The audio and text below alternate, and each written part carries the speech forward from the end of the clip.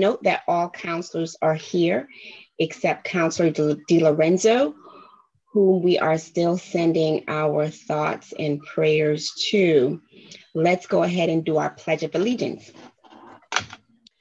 I pledge allegiance to the flag of the United, States, of America and to the republic for which it stands, one nation, under God, indivisible, with liberty and justice for all. Excellent.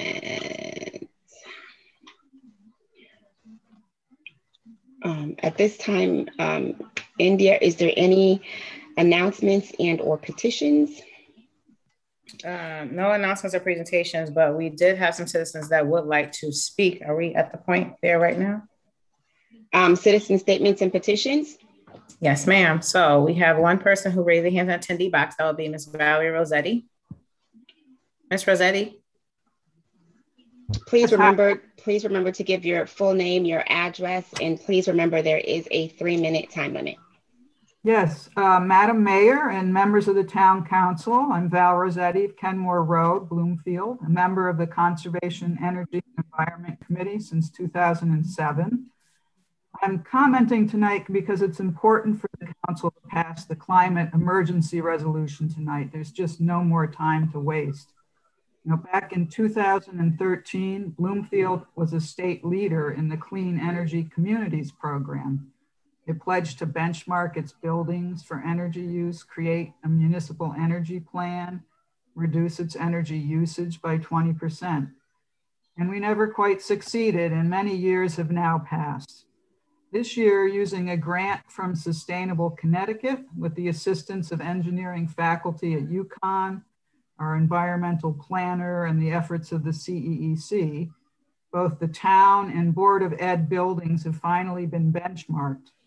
Their weather normalized electricity and natural gas use have been migrated to the EPA Portfolio Manager energy tracking software at zero cost to the town. Monthly data is now automatically uploaded by Eversource and Connecticut Natural Gas, saving staff data entry time but it's now up to the facilities managers to use the software, which can compute the greenhouse gas data necessary for the plan to cut these emissions.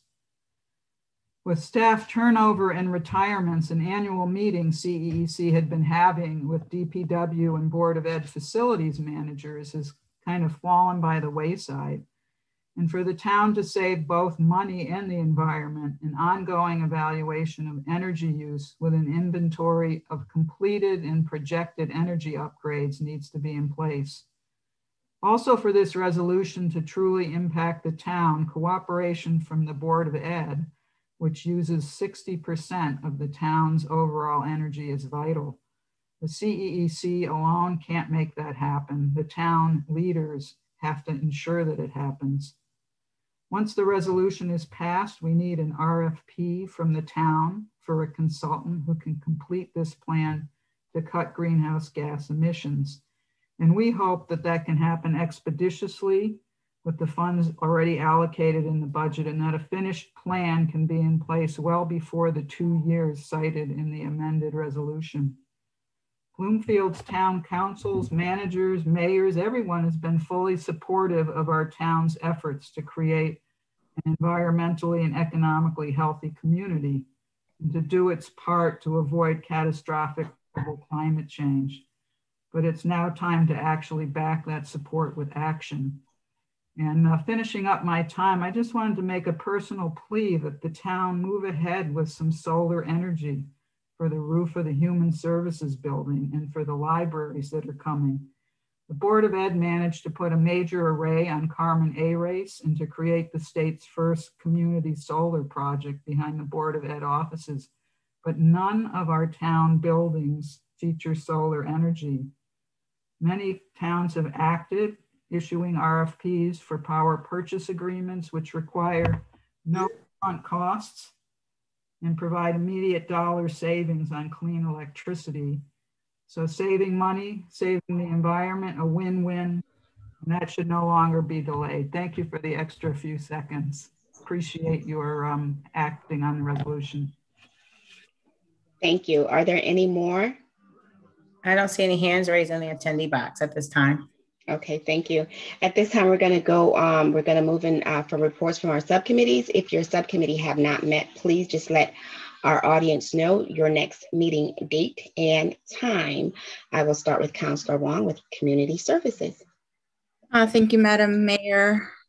I did not report out from our April 22nd uh, meeting, so I am going to attempt to give those updates and reports and weed out some of the things that have been outdated. So our last meeting was on April 22nd, and some of the social youth services, senior service, and leisure services items may overlap because they work very closely together. Uh, some of the social and youth services and current programs include um, upcoming um, partnering with Capital Workforce Partners to employ youth this summer. It's a six week program uh, for Bloomfield residents only. We do have some ongoing utility assistance programs um, that are still available, uh, like if you're for your Eversource bill support, homeowner assistance um, funded by the American Rescue Plan. Uh, the deadline is quickly quickly approaching, so please contact Youth and Services, Youth and Social Services at 860-242-1895. Uh, some senior services updates include Pilates, yoga, and bingo programs, AARP tax aid program completed, I believe, uh, this middle of this month. So if you have any more questions regarding senior services, please contact them at 860-243-8361. And moving into leisure services, uh, we are moving forward with some summer programs, also offering leadership programs and expanding to 14 and 15 year olds this season. Uh, so we continue to conduct those same events um, like bingo nights, family nights, um, painting under the stars and family game nights and really cool events like that. So um, please contact Leisure Services for more information. Um, something really cool that I think that we're going to continue to conver- conversations around our organic gardens, and I think those conversations are going to continue in June. So please look out for that. Uh, we do have some summer events kicking off. So uh, we do have Celebrate Bloomfield, which is kicking off at June on June 24th. Those include summer concerts, and they will be at Rockwell Avenue, like they were last year. We have bicycle tours uh, led by Octagon Cycling Club. So that's really exciting. We have a bunch of bikers um, on council up. I know that. And the mayor's ball to raise money for community based programs. So that's all kicking off in June. So those are pretty exciting. Some upcoming events also are Memorial Day Parade, traditional parade in town center that's happening on the 31st of May. And we have Juneteenth, June 19th, uh, which will be the MLK mural unveiling. So for more information, please contact Leisure Services at 860-243-2923. I'm moving into some of our community reporting, Family Resource Center report, also ABC report, Alliance for Bloomfield's Children. Uh, programming continuity include early childhood school readiness grant solicitation, so they're working hard on getting some additional dollars to support some of that. Ongoing playgroup planning and diaper bank donations. Uh, challenges that they continue to have conversations focused around include access to technology, mental health, and security. Um, quick report from Alliance for Bloomfield's Children include program development focusing on American Rescue Plan and recovery and working with community agencies to further those plans and quality enhancement for home daycares. So that's kind of exciting because we need some. I know they talked about really needing some enhanced uh, quality training for you know small businesses such as home daycares. Moving into the beautification uh, and kind of a CEC kind of lumped in report together. So we had a wonderful event on Arbor Day, Trees for Bloomfield Initiative. Uh, I think most of council attended. It was an awesome day. Uh, we had a large group of volunteers. We had the news channels out there, including VOAG and high school students. We planted oaks and maple trees at Rockwell Ave and Billy Lee Field and in front of the Carmen Arace um, Middle School location. So kudos to the Beautification CEC for hosting that event, DPW for the support that they gave, and all the staff, especially leader services and for really making that an awesome event um, for the town. Uh, the Beautification Committee did also host a Mother's Day walk that happened this past Mother's Day. And upcoming events that they would like you to be abreast on are tree and shrub care and pruning workshop happening on the 22nd of May on 10 a.m. to 12 p.m. and you can register via the Bloomfield Leisure Services uh, website. And lastly, uh, the CEC, uh, Conservation Energy Environment Committee, uh, program and planning initiatives continue to focus around climate crisis and reducing greenhouse gas, um, environmental justice items, and solar panels, um, potentially on the Human Services Building, as Ms. Rossetti just reported out, as she's a member of that same committee. Um, understanding options for an electric school bus, and October Shred Day that's coming up. I know that's a popular community event. Uh, so the next community service subcommittee meeting is Tuesday, June 8th at 6 p.m. That concludes my report. Thank you. Thank you. Um, Admin, Education and Finance, Councilor Curtin. Uh, thank you, Madam Mayor. I'll start with the Administration Education Council Subcommittee. We met uh, last Wednesday, May 5th at um, 6.30. Uh, I'm just going to go over briefly a couple of items that we discussed, and we did refer a couple of those items to the council here tonight for a recommendation and hopefully a vote. We did receive a status update regarding the IT upgrades within the, the council chambers. Um, IT is working on what does the council chambers look like and what kind of hybrid system are we going to go back into uh, per the state. I know that um, I think May 19 is when everything is going to be open. But I think the town of Bloomfield, as many municipalities, want to still be cautious and make sure that our resident safety is utmost at the, the head of anything we do. So including our um, council members. So I know it's going to be a hybrid system. They're going to come back with a cost and what that would look like uh, in regards. I mean, there were we talked about many different options and having plexiglass uh, at the diocese, reduce how many folks sit up there. Some folks being able to remotely um, uh, log into some of those uh, council meetings. The one thing that uh, I think that's important to consider is that we do have a provision within our charter that allows us to continue on this platform.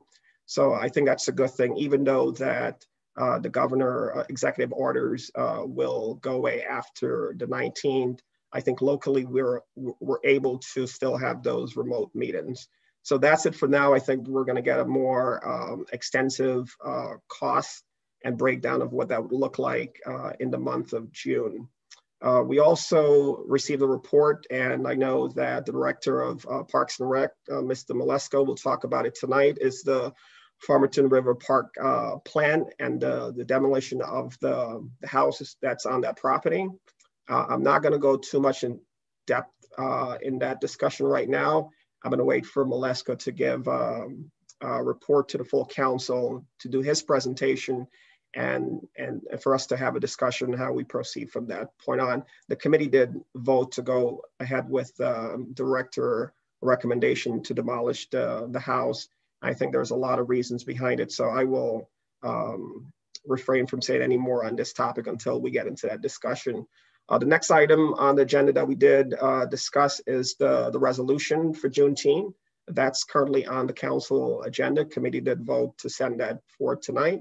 So we will have an opportunity to vote on that. And uh, the next item is the CEC. It was discussed earlier by uh, Val Rossetti. The, the committee did vote to move ahead. I think there is uh, some questions that came up in regards to language. So I know the town attorney was looking into it, whether or not we're able to vote on it tonight, but I'll wait until we get to that discussion. Uh, I guess there's a process in place where uh, the committee approved uh, to move ahead with this. There were some other changes, minor changes. So I, will uh, from my standpoint, I believe that um, I initially thought that everything was fine, but I will wait for, for that item to come up so we could discuss how we proceed based on our rules of um, these items. Uh, the next item that we discuss is basically uh, discussion around the town manager's goals, which in, we had a robust discussion on this in regards to setting uh, manager's goal right now. I think uh, based on uh, some of the comments that we've that I heard from members from the committee. I think it's prudent right now to hold off on setting any goals and priorities for the next town manager. I think the we need to let the, the search committee along with uh, our consultants to go through the process. I believe to get into any sort of uh, public discussion right now, whatever uh, manager goals may be that we haven't hired, I, I think it's uh, premature and it's uh, kind of put into uh, the, the carriage before the horse. Uh, so that's the end of my report for administration education, Madam Mayor. In regards to finance, the next meeting is next Monday. That's May 17th at at 6.30. Thank you. Thank you. Public Safety, Councilor Goff. Uh, thank you, Madam Mayor. Uh, the Public Safety Subcommittee met tonight uh, before the council meeting. Um, we got our reports from um, the um, police chief and the uh, fire directors, uh, as well as a report from Bloomfield Volunteer Ambulance. I'll go briefly through this. It was not uh, on an April to April basis. We had 47 reported crimes in Bloomfield this year versus 33 last April. So we were definitely up for uh, up on a year over year basis. Um, 193 year to date versus 178 year to date last year. Um, the you know that's not great news, but the you know there is sort of bad news, good news here. Uh, the bad news, of course, is that we did this was the April statistics, so we did have one homicide, which I think we've discussed at previous meetings. Uh, the chief gave a brief, uh, very brief update. The uh, suspect, um, the accused in that, is currently being held at a women's facility. Uh, there was nothing more to report. Um, the good news, if there, if if uh, we would take it as that, is that although there, the crimes were up for the month, they were um, they were not the uh, violent crimes. They were basically burglaries and larcenies, the same kind of shoplifting, Counselor, that we've seen before. Counselor, uh, Counselor. Yes, I'm, I'm so sorry to um, interrupt. Counselor Merritt, can you turn your video off, sir? Her... Go ahead, Counselor Goff. Oh, okay. Sorry. Um, so uh, the um, we had 10 burglaries for the month. Uh, we had 32 larcenies, which was mostly shoplifting, uh, the usual thing at Copaco. So, um, you know, so, something of concern, and the chief is uh, trying to um, look at what we can do to deal with that and get the, uh, you know, obviously get the incidents down. Um, we had 45 motor vehicle accidents versus about 46 last month. Um, so that's sort of at the usual run rate, uh, if you will. Uh, the speed shield is being um, uh, uh, put out at various streets where we have citizen complaints of speeding. Uh, fortunately, there were no citizen complaints against the police department this month, and there were only uh, really three use of force incidents. Um, as usual, most of them involved uh, situations where uh, people were very distraught and fortunately the outcome in all cases was positive there were no you know the, the use of force remember for our police department is anytime a weapon is even uh, drawn or threatened to be drawn, that counts as a use of force. We did not really have any uh, any uh, shots fired or anything like that.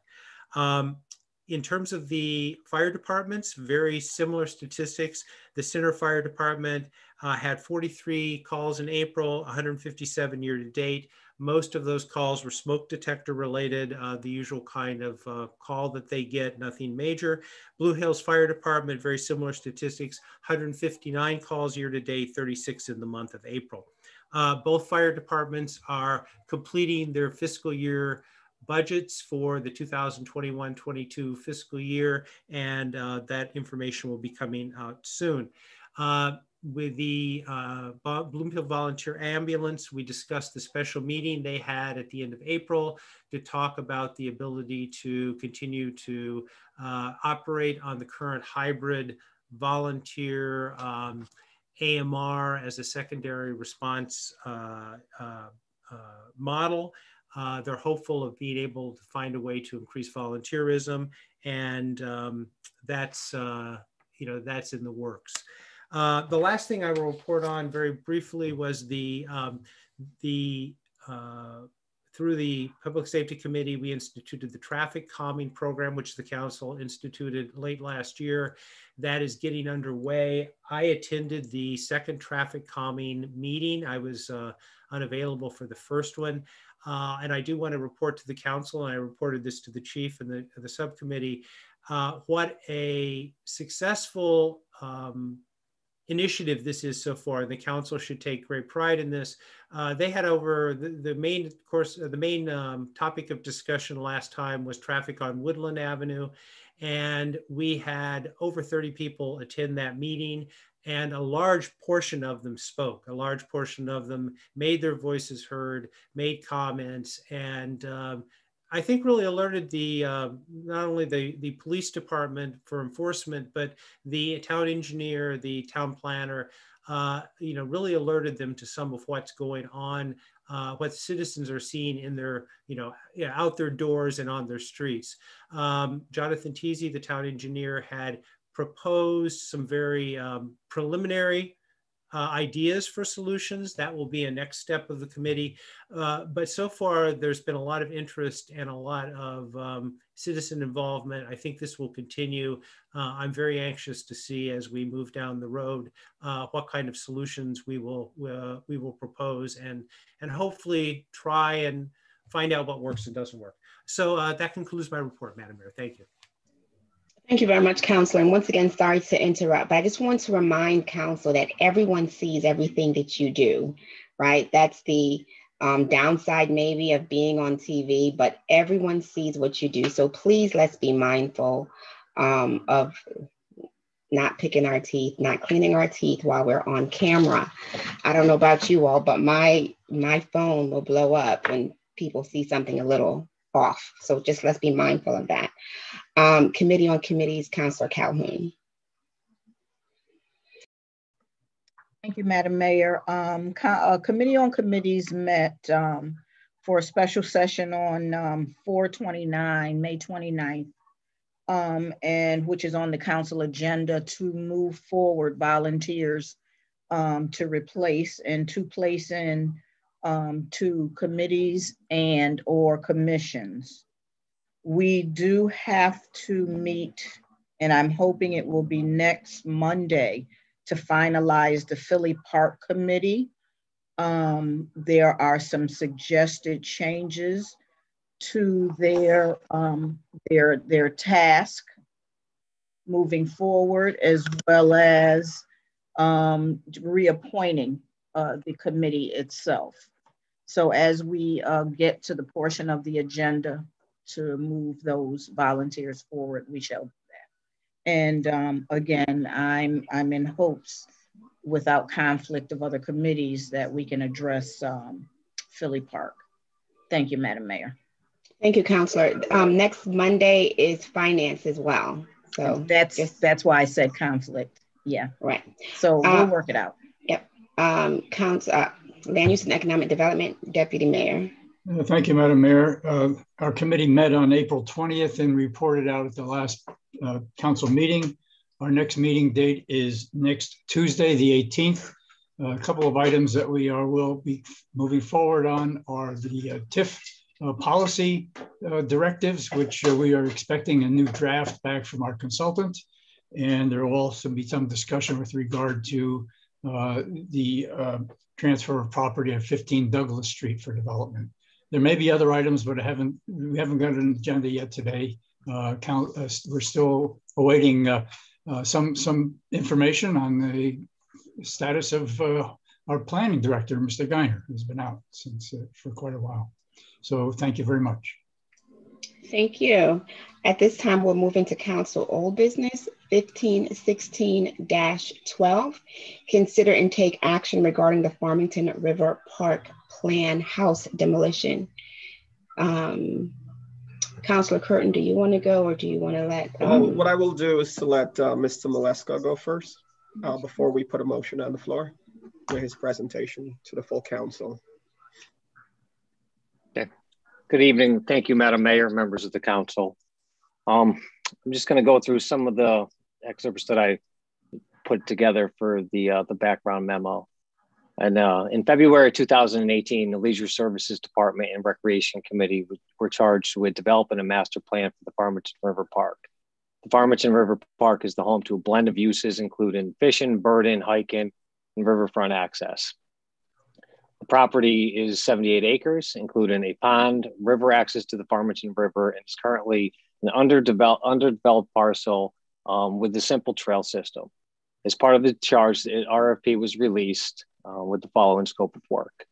Um, the scope of work included but not limited to site analysis, assessment, community outreach, and public input, uh, park master plan schematics, including design, development, phasing of construction and costs, and the maintenance and revenue generations. Um, through the R, through the competitive RFP process, uh, Fuss O'Neill was the selected firm to handle the plan for us. Um, so over the course of 12, just over 12 months, um, we worked on the plan. And in, Jan- in January of 2019, the Recreation Committee um, moved forward with recommending the proposed plan with the final anticipated cost totaling $526,000 for full implementation. Um, the priorities of work completed were discussed with the top three items being culvert replacement, demolition of the house, and design and construction of the pavilion slash shelter. Um, the plan was then brought back to the administ- uh, administration edu- education uh, subcommittee at the March 4th, 2019 meeting, and then brought to the full council for the March 11th, 2019 meeting. Since the adoption of the plan, we have since replaced the culvert, installed the safety guardrail uh, to, in the amount of $19,450. Um, we contracted services for an envir- environmental review mitigation report for pre-demolition in just over $4,000. Um, Department of Public Works has done some in-kind work for us, included uh, clearing from behind the house, providing a little bit more access for us uh, for the waterfront so you can see from the heart of the park. Um, that's currently ongoing as we speak. Um, in addition to clearing um, access for the access road going down into the heart of the park. I've also solicited funding for trail mapping and signage from the Wild and Scenic Lower Farmington River Salmon Brook Small Grants in the amount of twelve thousand, uh, excuse me, twelve hundred dollars, um, and then solicitation of quotes to, to demolish the house. Um, so we were awarded the uh, the funding from the Wild and Scenic Lower Farmington River and Salmon Brook. Um, so we're going to be moving forward with developing a trail mapping system um, very shortly. We're actually uh, just uh, issued on our end uh, the purchase order today. So once that is approved, we'll obtain the services. Um, we're keeping on task here for the house. Um, out of the three quotes that we received, the uh, qualified low quote came back in at $74,000, which included the following house demolition, environmental remediation, cleanup miscellaneous work, as well as remove and dispose the foundation backfill with material supplied by the town, grade cap with six inches of topsoil and seed. We did do an alternative because the plan called for the um, the not only for the house to be de- demolished, but for us to retain the chimney that that is in the house as well as the foundation, with the plan of building a pavilion on top of uh, on top of the foundation. So we wanted to put it out into two because we through some preliminary discussions, we realized that this was going to be a little bit more than what the the initial costs were going to be, which, according to the plan, was was quoted to be approximately sixty thousand. So the bid alternative came in at one hundred and fourteen thousand dollars. So it was for, for uh, forty thousand dollars more than to just demo and return it um, back to its uh, original grade, which included uh, work provided with the following exception um, in addition, do not remove the foundation cap, the existing foundation, wooden frame, and asphalt shingle roof. Uh, we needed to develop some type of system to retain, um, um, uh, not to compromise the foundation, to make sure that it wasn't getting wet. Um, during this initial process, when we did the plan with Fuss and O'Neill, we did have a structural analysis uh, of the foundation. It was actually, it was deemed that the water was not getting into the basement and it was still structurally sound, which is part of the reason why we thought it would be a good idea to keep the foundation in the chimney and to repurpose it um, with a pavilion on top of it. After discussion and um, you know through um, through a couple capital improvement projects, um, we did go ahead. We did recommend working with the uh, uh, the recreation committee, we did develop our capital improvements uh, list uh, that was provided to, to the manager and staff and then recommended over to the town council. Um, we did put in for another, uh, for an additional $150,000 for this year in order to move forward with the pavilion. Um, you know, through cuts and ads, it didn't make it to the council for for approval. Um, so, and we did that last year as well. During for the uh, fiscal year 2021, we put in for for money in the capital budget as well. It just hasn't been the the top priority uh, for the department or the the committee to this point. Um, this year it was the number two. Um, so after discussion, going over going over these um, um, quotes with with the uh, the committee. The committee was recommending um, to to still move forward with this uh, um, with the project as is, with maintaining the uh, the foundation.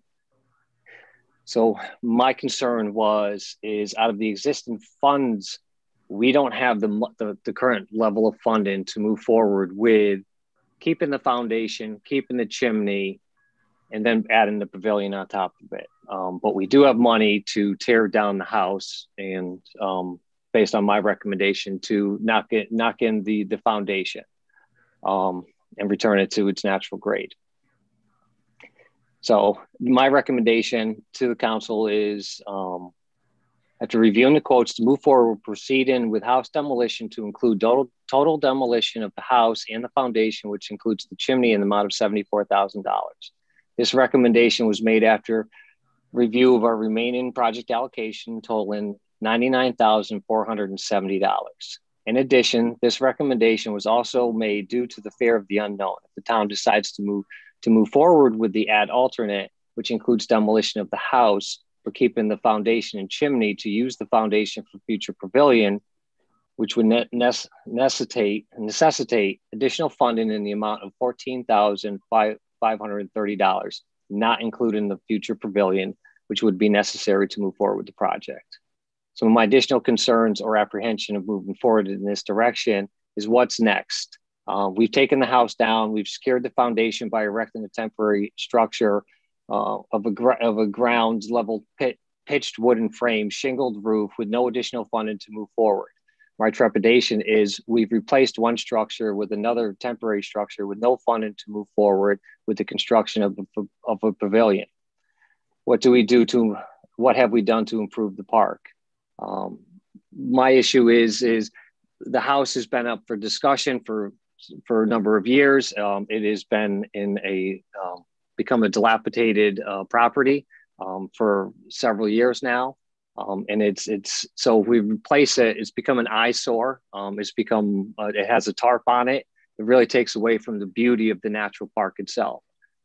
So if we move forward without the additional funding to build a pavilion on top of it, we are now, as I just uh, mentioned, is we are replacing one problem, one structure with another structure without any funding in order to move forward with this. Um, so you know, I believe that part one of the reasons why we were keeping the foundation on the house was for storage. Um, well, seeing the ad alternate comes in for for an additional forty thousand dollars to to save save the foundation without actually receiving quotes at this point, but understanding what the cost of a storage building would be. Um, you know, I believe that we would be able to purchase an adequate size storage building for anywhere between five and fifteen thousand dollars, depending on the size um, that we decided to go with. Um, and then we would also have an open canvas. We would be able to put the pavilion wherever we like. One of the other, you know, one of the other reasons for saying this is there's no historical value to the property. Um, there's no nostalgia to to to the property um, or to the house itself. Um, you know, we've all see the the the, the chimney at Filley Park um, you know that that hasn't had a structure around it since it came down several years ago. Um, that's one of my concerns there is just to have a free floating chimney and a low level foundation. How long do we keep it in that state for uh, without any additional funding to, to move forward? So that is really my concern is what's next? How long do we keep it in this area? You know, my goal is to to get to this property we're, we're moving forward. We're making strides in order to get this to to an attractive park. Um, and I think, you know, like I said, my recommendation is to, to tear the house down. It allows us to have the, clear passage from the heart of the park down to the river, um, with the hope of being able to get canoers and kayakers down there in the near future. Um, uh, if there are any questions, I'll be more than happy. Councilor Wong. Uh, thank you, Madam Mayor. I have not been following this particular issue closely, so I'm think I'm thankful for the kind of the rundown from staff. Um, I guess I wanted to understand and to water it down a, a bit to understand the two pathways. So, through you, Madam uh, Madam Mayor, Dave, we're saying we have everything in the budget to continue with the demolition of the plan. We don't get to keep the foundation or the chimney, but we won't have any added cost to the current plan. And then we can continue with the pavilion being erected at the park. The other alternative plan is an additional $40,000 to keep the foundation and the chimney, but there is no historical value in the chimney or the foundation. Is, is, is my understanding correct? It is. Um, and that's and that's the the current allocation that we have. So we don't have enough money to finish the project if this comes down. We just have if we were to move forward with my recommendation, we'd still have just over twenty five thousand dollars left to continue with additional projects. Okay. Does that get us the pavilion, or is that another? It would not get us a pavilion.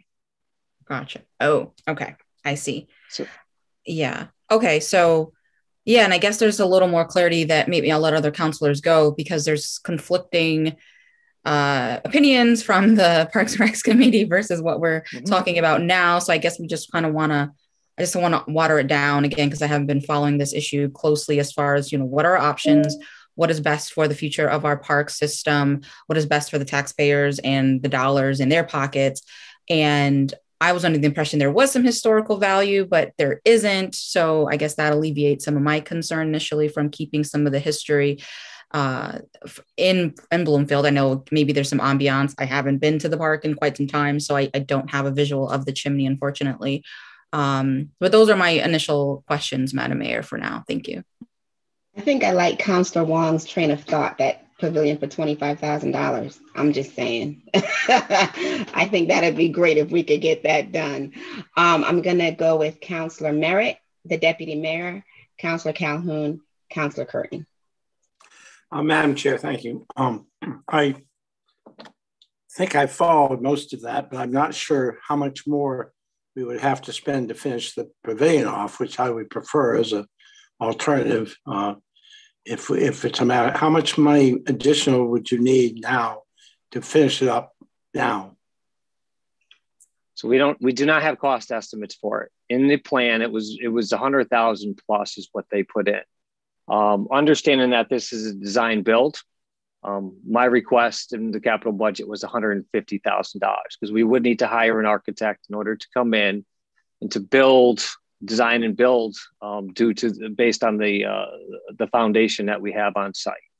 Um, so that is my best guess to this point. But until we actually obtain the services of an architect to come in, um, I cannot provide an, an actual figure for you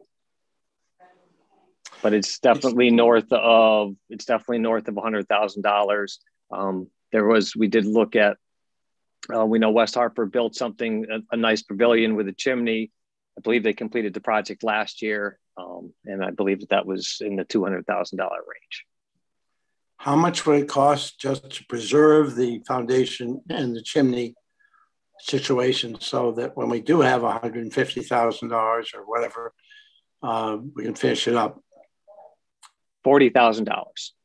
So you preserve it for $40,000 with basically putting another structure on top of it. You're basically putting a pitched roof on top of the foundation.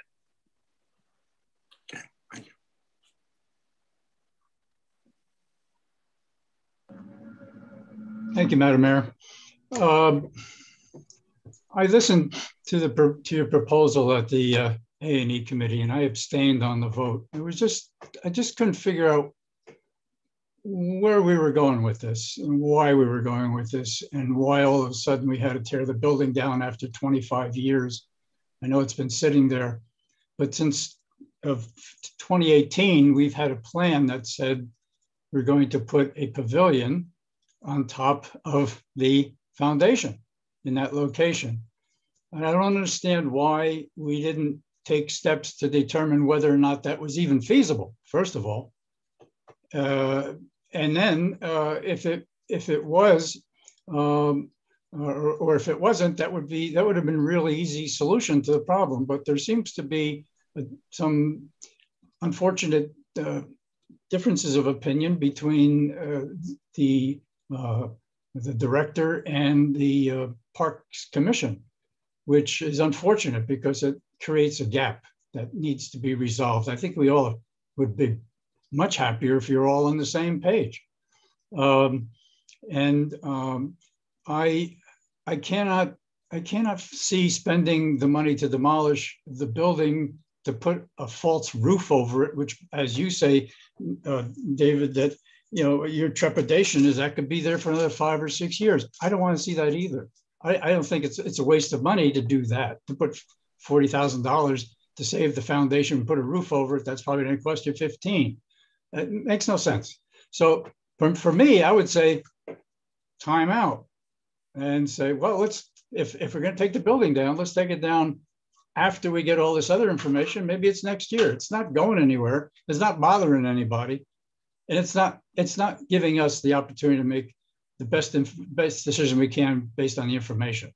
I can see from your point of view, uh, it would be it would be better to clear the site and have a clean slate and move on. That's one that's one solution. It is a solution, and it's it's it's an equally good solution.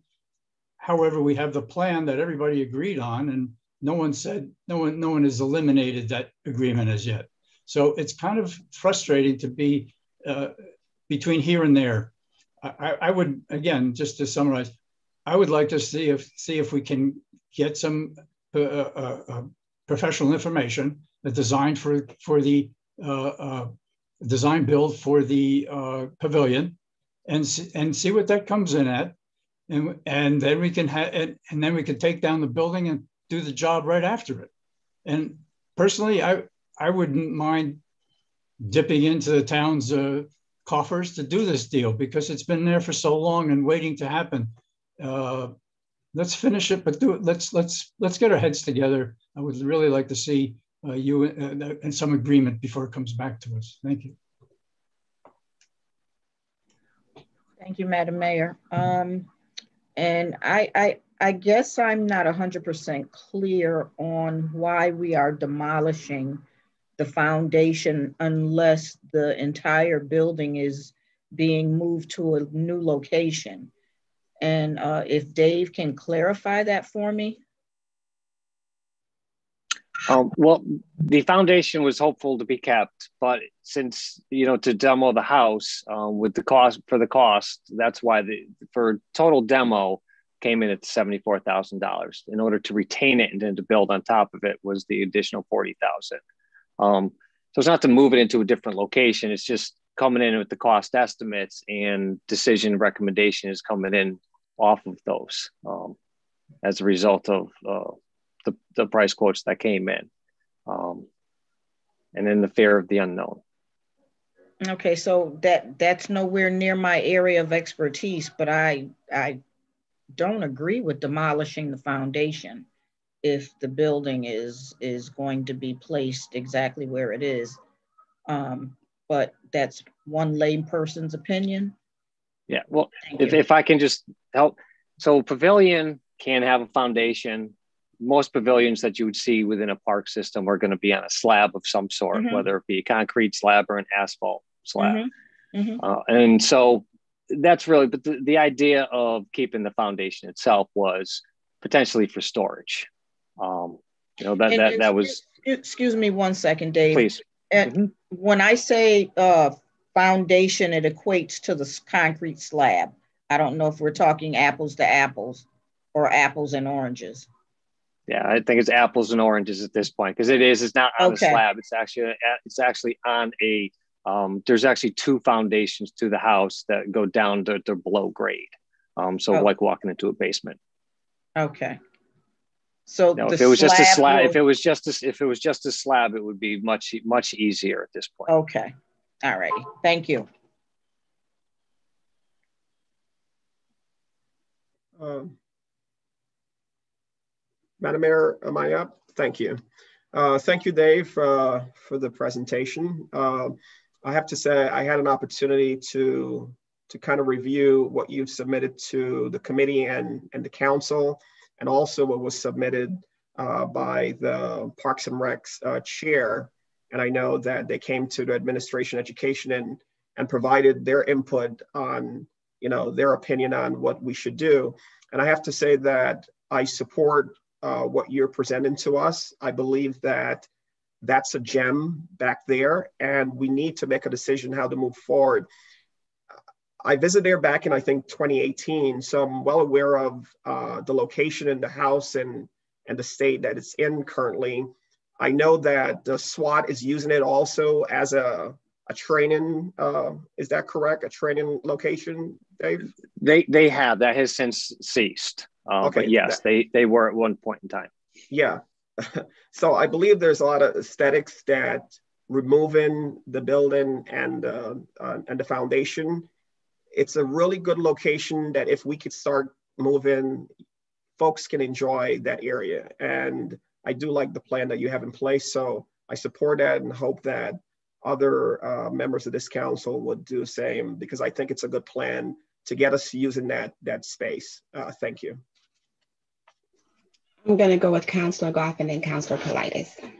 Uh, thank you, Madam Mayor. Um, let's see, I, I, I, have quite a bit to say about this. Um, first of all, I, I was, I, just to make a comment, uh, and I know that Councilor Long mentioned this, there was a Mother's Day hike. Uh, it was actually in the Farmington River Park. We got, uh, uh, the, this was a, uh, trees Bloomfield uh, beautification trees for Bloomfield uh, C, CEC joint project. We got a lot of um, people who had never been in the park. And to echo what Councillor Curtin just said and what I have seen when I have led hikes in this park, uh, as soon as anyone sees this park, uh, they go, I didn't know about this. This is great. I didn't know we were on the river. I didn't know we had these views. I didn't know we had this kind of facility uh, they are always appalled at what we have, what what the town let happen to the house. Um, I agree. I, I, guess where I am on this is basically the same place the deputy mayor is. Uh, I I never assumed that.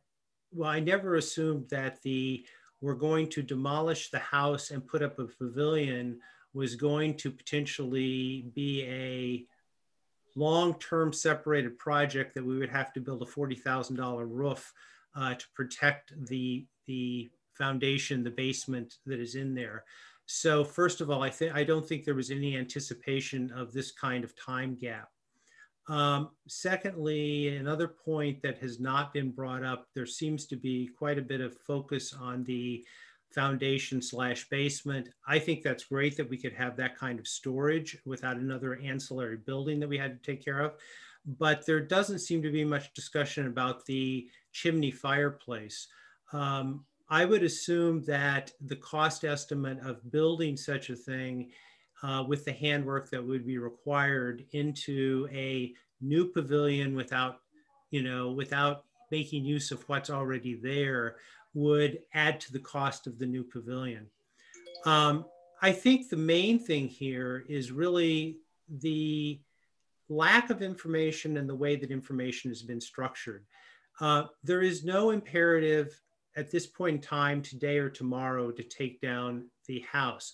I do agree with, I think, the committee, the council, uh, Mr. Molesko, everyone, that unfortunately, at this point, the house, it doesn't have major historical value. It has a little. It was owned by the Fuller family of Fuller Brush fame. It was it was it's sort of like their is the their place like Curtis Veeder's uh, uh, Pinwood Park. I think it was sort of their getaway to the Farmington River. But that's not a major historical issue for Bloomfield. Uh, so I agree that the house itself, we you know the town the town, unfortunately, has let that house be dem demolished by neglect, as it has done other structures. Um, so I certainly think we're all in agreement that the that at this point the solution is for the house to come down. However, there's no imperative that that happen next week. I think that the best thing we could do at this point is, as the deputy mayor said, let's take a timeout. Let's go out and get an actual estimate plan from architects of putting the pavilion up. And then let's make a decision based on that as to what is to keep. And also let's make a decision based on that, that maybe it's time to put the pavilion up. Because uh, I do agree with Mr. Molesko's frustration that this has been in the capital budget for a number of years. The work that has occurred there has occurred because of the $150,000 that the town received from CREC for the CREC school backing out of uh, revitalizing the park. And so they have been, you know, the, the, the culvert work, the master plan, the work that has been done so far has been done as a result of the money we got from CREC. Uh, I think it's time for the town to put some money into this. And I, I, I agree that it should have been the second highest project this year, the, the splash pad being the first. But I would remind the council that one of the things we talked about last year budget, and I, I'm completely aware of the uncertainty and I completely supported the fact that we wanted to be very careful with our budgeting last year because of, of the uncertainty. But at the end of the budget process last year, we knew the pool was going to be closed. And if you go back and look at some of the tapes, there were council members who did suggest, gee, let's dip into that $20 million reserve that we have, which we need to we need to keep as reserve, but let's dip in and do the $150,000 to get the splash pad so that it'll be done during a year when the pool is closed and so that it will be available to the people when we are hopefully starting to celebrate a bit, open up with COVID. We didn't do that. As a result, we had to do the splash pad this year, which I completely support. I'm glad we did. But if during the budget negotiations, we had heard the same story we're hearing now, I, for one, certainly would have pushed for adding money to do the pavilion so that we would not get into this, this one option is to spend $40,000 to put a fake roof over the basement. I, I, I, agree with that. I mean, I think everyone agrees that that is not a good idea. But we don't have, you know, we don't have to choose one or the other. We can do exactly what the deputy mayor suggested. We can sit back and say, let's go out, get a, get an actual cost estimate of what this is going to co co cost, come back to the council, we'll make a decision, and then let's move forward one way or the other. But wait, but I, you know, I can't vote for anything until I have all the information, and that's what we need at this point. Thank you.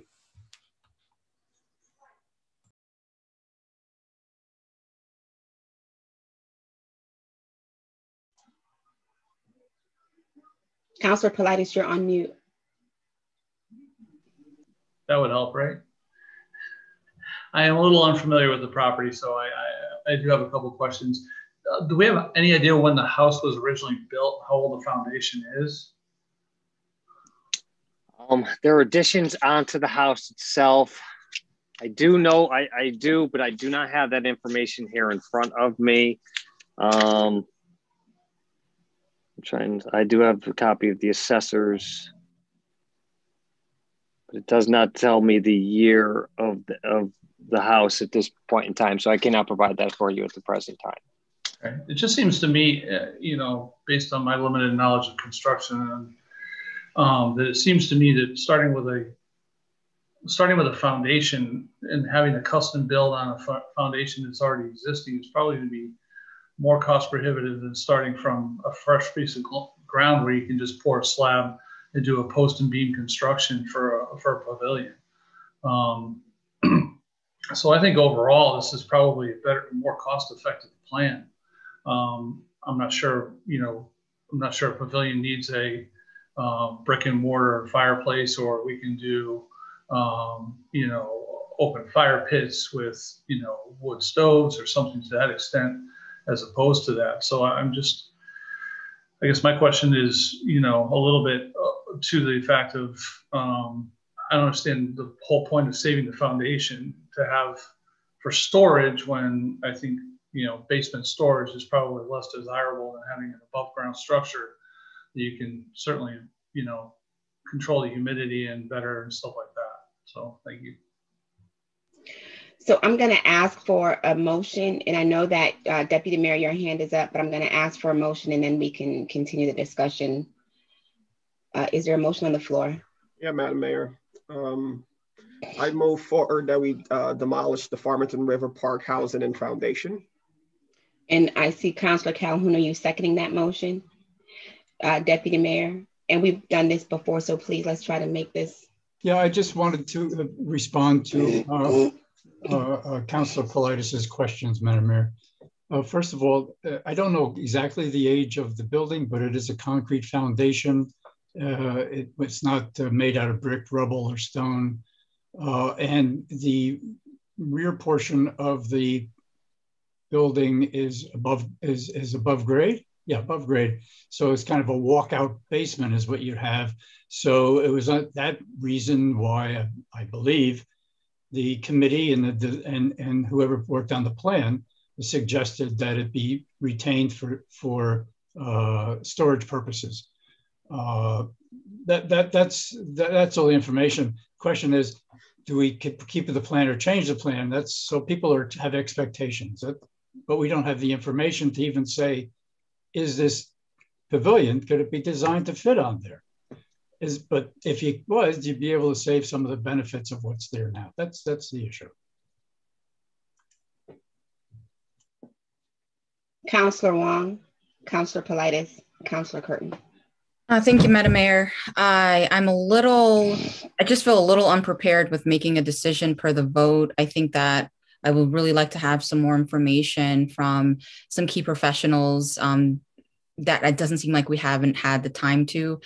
And I really want to see a, resolu- a resolution with the Parks and Recs Committee and staff to be on the same page. I would really feel more comfortable if we were in lockstep on that matter. So I understand that we're presenting some of our uh, risk mitigation and some of our statuses, but maybe we maybe we go back and we talk and we figure out how to make a resolution. The, the Parks and Recs Committee were was appointed for a certain charge, and I really want to make sure that they're um, that there's some compromise and some more discussions. Again, I haven't been in um, in depth with this particular issue, so I'm not sure how long this has been and where the disagreement lies. But maybe we need some more information. We need just some. We need to have some more due diligence, um, get some more facts around this, and um, I would just feel more comfortable if we just get a little more information before we make a decision. Because it sounds like although the chimney and the foundation don't have any historical value per Dave, it does have value from a community standpoint within the Parks and Recs uh, discussions that they've been having. So, um, yeah, that, that's where I am today. I think we need some more information before we proceed to vote on something very important to the community. Thank you. Councillor Politis and Councillor Curtin. I'm gonna try to hit the unmute button first. Um, just asking for an opinion from Mr. Malesko. Um, is there, in your opinion, there is any urgency to do the demolition of the building at this precise time, or do we, or is it structurally sound enough and not a, a liability to the town to stay up for long enough to maybe reassess this and then um, maybe for a little bit further discussion amongst our counselors, um, are we prepared to um, put a little money out to get an assessment of how much this is going to cost and actually dig into the coffers to do this um, once and for all, as opposed to um, trying to do this as part of some sort of, a CIP project where it's going to last, may go on for years and years and years to come. So, I mean, those are two factors that would come into my decision.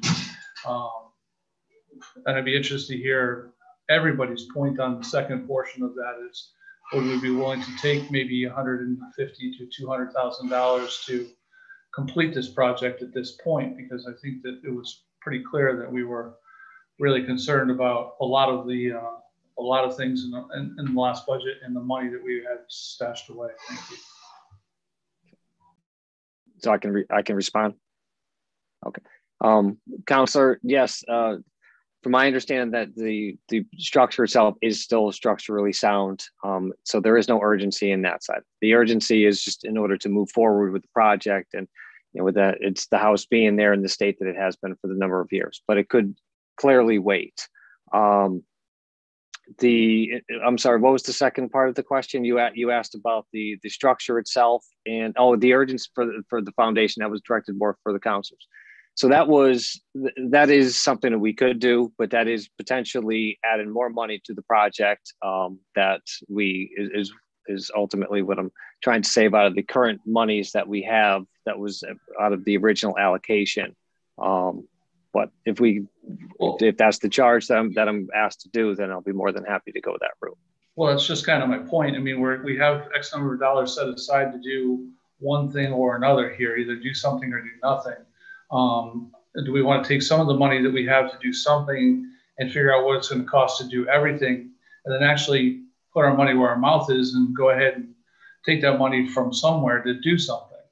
Um, if that's the case, then maybe we should spend ten or fifteen thousand dollars to get an architectural drawing of what it's going to take to build a pavilion on the foundation. And if not, then I think we should do exactly what you say and demolish the building, level the level of the land, and go ahead and um, and, and, move forward. Because I do believe, you know, probably a pavilion on a port, you know, on a, a port slab with post and beam is probably a heck of a lot less expensive than a uh, custom designed building on a foundation, an existing foundation. Thank you. Um, I'm gonna go. Oh, was your hand up? I'm sorry. Go ahead, Councilor. Yeah, sorry. Yeah, thank you, Madam Mayor. Here, here's what I'm going to say. Just uh, just an observation sitting here. Um, we we have advisory committees. These committees are put in place as committees of residents. We we have paid staff, and if we're going to get into a debate and we're going to try to override recommendations from staff, then we have a problem. We have a serious problem, and this goes down the line. It goes down with the town manager. Are we going to continuously second guess the folks that are paid professionals that are providing us guidance and recommendation and what's the, in the best interest of the town? When we look at this, we're looking at a narrow perspective of a few in, individual. And no, they do not speak for the entire town. So let's be careful with our words. The directors providing guidance. If any one of you haven't had a chance, go by and visit that building. It's a blighted location. It brings no value to the town. Okay. These are basically, in my opinion, these are personal things that are being displayed. Folks, this is what I want. That's not why we're here. We're here to make decisions for the town as a whole. And we run into this over and over where we're taking input from a few individual that doesn't represent the entire community. And it's pretty frustrating for me to sit here and continuously go through this process. We have to listen to the professionals that we're paying to do this job. We're not going to agree every time, but we can't sit here and say, oh, you need to be on the same page as uh, Parks and Recs or any other committee. That's not how we run an organization. Thank you, Madam Mayor. Uh, Councillor Merritt, Councillor Goffin, and Councillor Wong. Thank you, Madam Mayor. I, I wanted to say I believe that house was built in the 60s, if that's helpful at all. So it doesn't go back historically that long.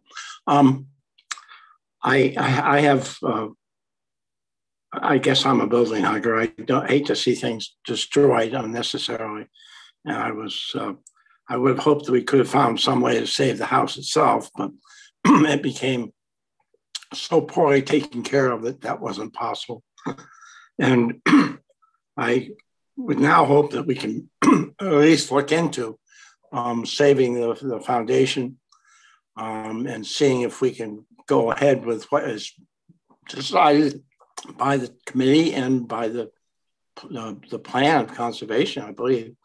I mean, plan of uh, develop the parks plan, and um, I I think we need to get more information. I thought the idea of using what money we have already to get a good solid study and price on on putting a um, new building up that would be a smart thing to do, and it would be not very smart to make a decision with limited information now. Thank you. Thank you, Madam Mayor. Um, let's see. Uh, I have a, um, you know, I have a, I have a, I have a couple of, of comments. The main, the main one is to again uh, agree with what Council Merritt just said. What what everyone just said. Uh, I think uh, every most people said about getting more information. Um, we need to know what the options are, and I think, quite honestly, this, you know, from what I've read in the comments from the Parks and Rec committee, I think this is their frustration. Um, we do need to rely on um, staff, but staff also need to get cost estimates. And I realize there is, um, you know, I, I, think maybe what one of things, the things that is going on, and this, this came up when with the budget discussions when we were talking about the um, climate emergency resolution. I think we've got to be very careful about our instructions for getting information related to funding getting that information. Uh, I think we have to put sufficient funds into the budgets for, for the staff to be able to go out and get the information they need to communicate not only to council, but to the committees they are liaisons with. Uh, on this important project, it is important to know that how much will it cost to build the design of the pavilion that has been envisioned in the master in the master plan for the Farmington River Park, which everyone agreed on, and everyone thinks looked nice. And, and when we showed, you know, we showed that to several people in the hike on the walk, the walk, it wasn't right a hike, the walk on Saturday, and people thought, oh, that's great. Oh, I'd like to have my wedding here. Oh, people will use the park. People want to use the park they need, you know, that's the vision we have, and we need to know how much that's going to cost so that we can have a debate on it. But if we're always left in the situation that, well, we have incomplete information, but we don't want to spend any money to get any information, I don't think we're going to make very good decisions. Um, so I am in complete agreement with what Councilor Mara just said, what the Deputy Mayor said. I think what several other councilors have said. Uh, we need more information here. I think that will go a long way to getting consensus between town staff and uh, the Parks and Rec Committee. Uh, there is no imperative to tear that house down tomorrow. Tomorrow, I certainly agree with Councillor Curtin that it has become an eyesore, and that is something that we all should be working on. To answer Councillor Politis' question, I, for one, depending on what these uh, estimates come back, am willing to dip into funds to support that. And in fact, if we continue with our finance committee or uh, continue with the monthly financials, we may have more money that we can move into um, uh, uh, Farmington River Park uh, CIP this year. Um, so, you know, I think we need that. We need that information, and that's the way I hope we will we will we will move forward. Thank you.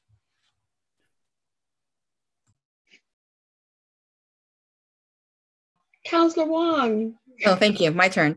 I just, a side note, I just sure hope there's this much um, energy when it's time to put some money into Filley Field, but that's uh, for a later date. But anyway, I, my question to Dave is uh, Do we know how much it's going to cost to get more information? Is it going to cost? How much is that going to cost? I, I, wish that I could provide an answer for that. And if I were to throw out a number, it would be an arbitrary number, um, mm-hmm. several thousand dollars plus um, you know, I'm not thinking like twenty thousand dollars or more, I, mm-hmm. but it would be under that, I would think.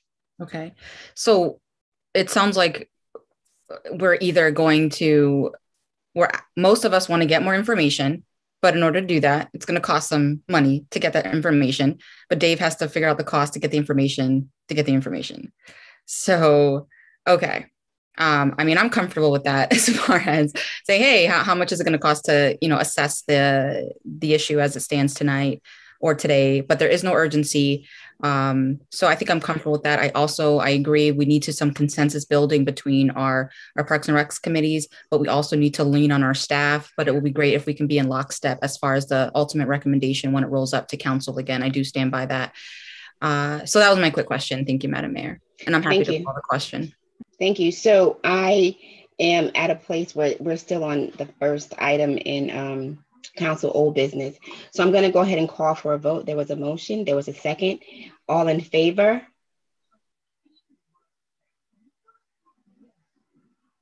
All opposed? Madam Mayor, uh, just a point of order. Um, Councilor Goff, um, uh, your wife is on the committee, sir. Are you going to abstain from this vote? Certainly not. Okay, that's an ethical question on your part, but that's fine. So um, it, it's a split vote. So I believe at this point, the um, we're going to have to, at some point in time, re-vote. Um, Attorney Needleman's on the uh, on the call, I think, because it's a split vote. Attorney Needleman, Mark. Okay, so it's a split vote, right? So, um, Madam Mayor, I just yes. want to state for the record, please. I just wanted to reinforce my point Point Point of order. This is not a discussion piece. The madam, so, mayor was talking. Let the mayor finish. I'll let Mark Needleman chime in. One, um, once again, um, uh, Attorney Needleman, we have a split vote. Split vote means the motion does not carry. Okay, thank you, sir. Um, Councillor Curtin. Madam Mayor. Yes, sir. Before you move ahead, I wanted to make it clear for the record it's common for council members, I just wanted for the record, if there's a conflict, and there's clearly one here, Councilor Goff, wife is on the committee, and also send in um, a recommendation to the council today. So I think it behooves me that he decided to vote. It's been common practice of council members if there is a conflict of interest. So I just want to state that for the record. Thank you. Thank you very much, Council. We're going to go to Council New Business 20 slash 21 dash 76. Consider and take action regarding the approval of the application for the Quality uh, School Readiness Grant Program. And we do have Go, uh, Gail, Gail uh, Nolan on the call. Gail, do you want to give? I know we do this every time, but we do have some new counselors. So if you could just give us a brief background, and then I'll take a motion and the vote. Thank. Sure, thank you. So, uh, School Readiness is a grant put out by the Office of Early Childhood, um, which um, goes to fund sliding scale spaces for children three and four year old in preschool. So, Bloomfield still qualifies for priority uh, status in those grants, and our total funding um, allocation has remained the same as the past few years. So um, we are applying for $702,845 um, and an, a separate grant, which is quality enhancement for $8,035. So um, that's about almost $9,000 per slot. Um, for each of these um, three and four year olds um, that mostly reside in Bloomfield. We do have a 10% allocation for out of town. Most of those people are um, work in Bloomfield. So um, a lot of people like to have um, childcare where near where they work. Um, the centers that we have currently are First Congregational Child Development Center, and First Academy um, at First Cathedral. And um, we did open up um, applications this year and um, received uh, two new grants. Uh, one from um, Creative Creative Hearts Learning Academy, and another from the Bloomfield Learning Center. Um, so the count, our uh, School Readiness Council is recommended funding um, three centers this year. First Congregational at 44 slots, full uh, full day, full year, and two part day slots. First Academy at 20 slots, a full full day, full year, and Creative Learning coming on with 10 uh, new slots this year. Excellent, thank you. Um, I see Councillor Calhoun's hand. Oh, yes, thank you, Madam Mayor. I um, have a question for Gail. Does school readiness qualify for COVID monies? The in center, addition to? Yes, so the centers um, have been receiving some supplemental income um, throughout the year. Um, some of their uh, slots and parent fees have been subsidized. Um, they were able to um, get extra supply money for some um, COVID um, protective equipment. Uh, we did that with some of our quality enhancement grants as well. The School Readiness Council voted that um, any center in Bloomfield could apply to receive um, re uh, supply reimbursements for up to $1,000. Uh, home daycares could apply for $500 for that. Home day cares could also apply for um, quality enhancement grants of $500, which we've been doing over the last several years. Um, we reimburse for staff um, taking uh, classes or trainings that are needed in early childhood um, as scholarships, also scholarshiping um, parents to um, with, with, their family fees. In addition to that, Gail, um, the the grants aren't disqualified by receiving COVID monies. No, no, that's okay. an addition. Okay, great. Thank you. And there'll be there'll be more coming up um, with the um, new new funding coming up as well. I believe the the um, I was on a call yesterday where um, Commissioner Beth Bye was talking about some of the funding coming up. We don't have amounts yet, but um, I know all of the centers are going to be getting um, funding to help them restabilize. Thank you, Gail. Thank you. I'm going to go uh, Councillor Wong and then Councillor Merritt. Uh, thank you, Madam Mayor. I was just ready to put the motion on the floor. I don't have any further questions, but I'll wait. Councillor Merritt? I was only going to comment that I, I of course, the federal government's uh, one of the bills that is being put forth by the uh, administration would finance early learning very nicely, but that's down the road and questionable whether it'll happen. But also, I was going to ask if uh, BELC is has been status has remained as it was, or has it? Uh, is there any funding for BELC involved? I didn't hear you mention them. Uh, well, we were. They lost their accreditation when they were a school readiness center. Um, so, according to the uh, materials that the Office of Early Childhood put out. Um, they're not able to apply for school readiness funding until they um, attain that accreditation once again. They okay. do have funding, um, they call it state funded center um, money. Mm-hmm. So they do have slots with that still. Um, I believe somewhere in the neighborhood of 50 slots, um, which is on par with school readiness. It's the same amount of funding. Mm-hmm. Thank you.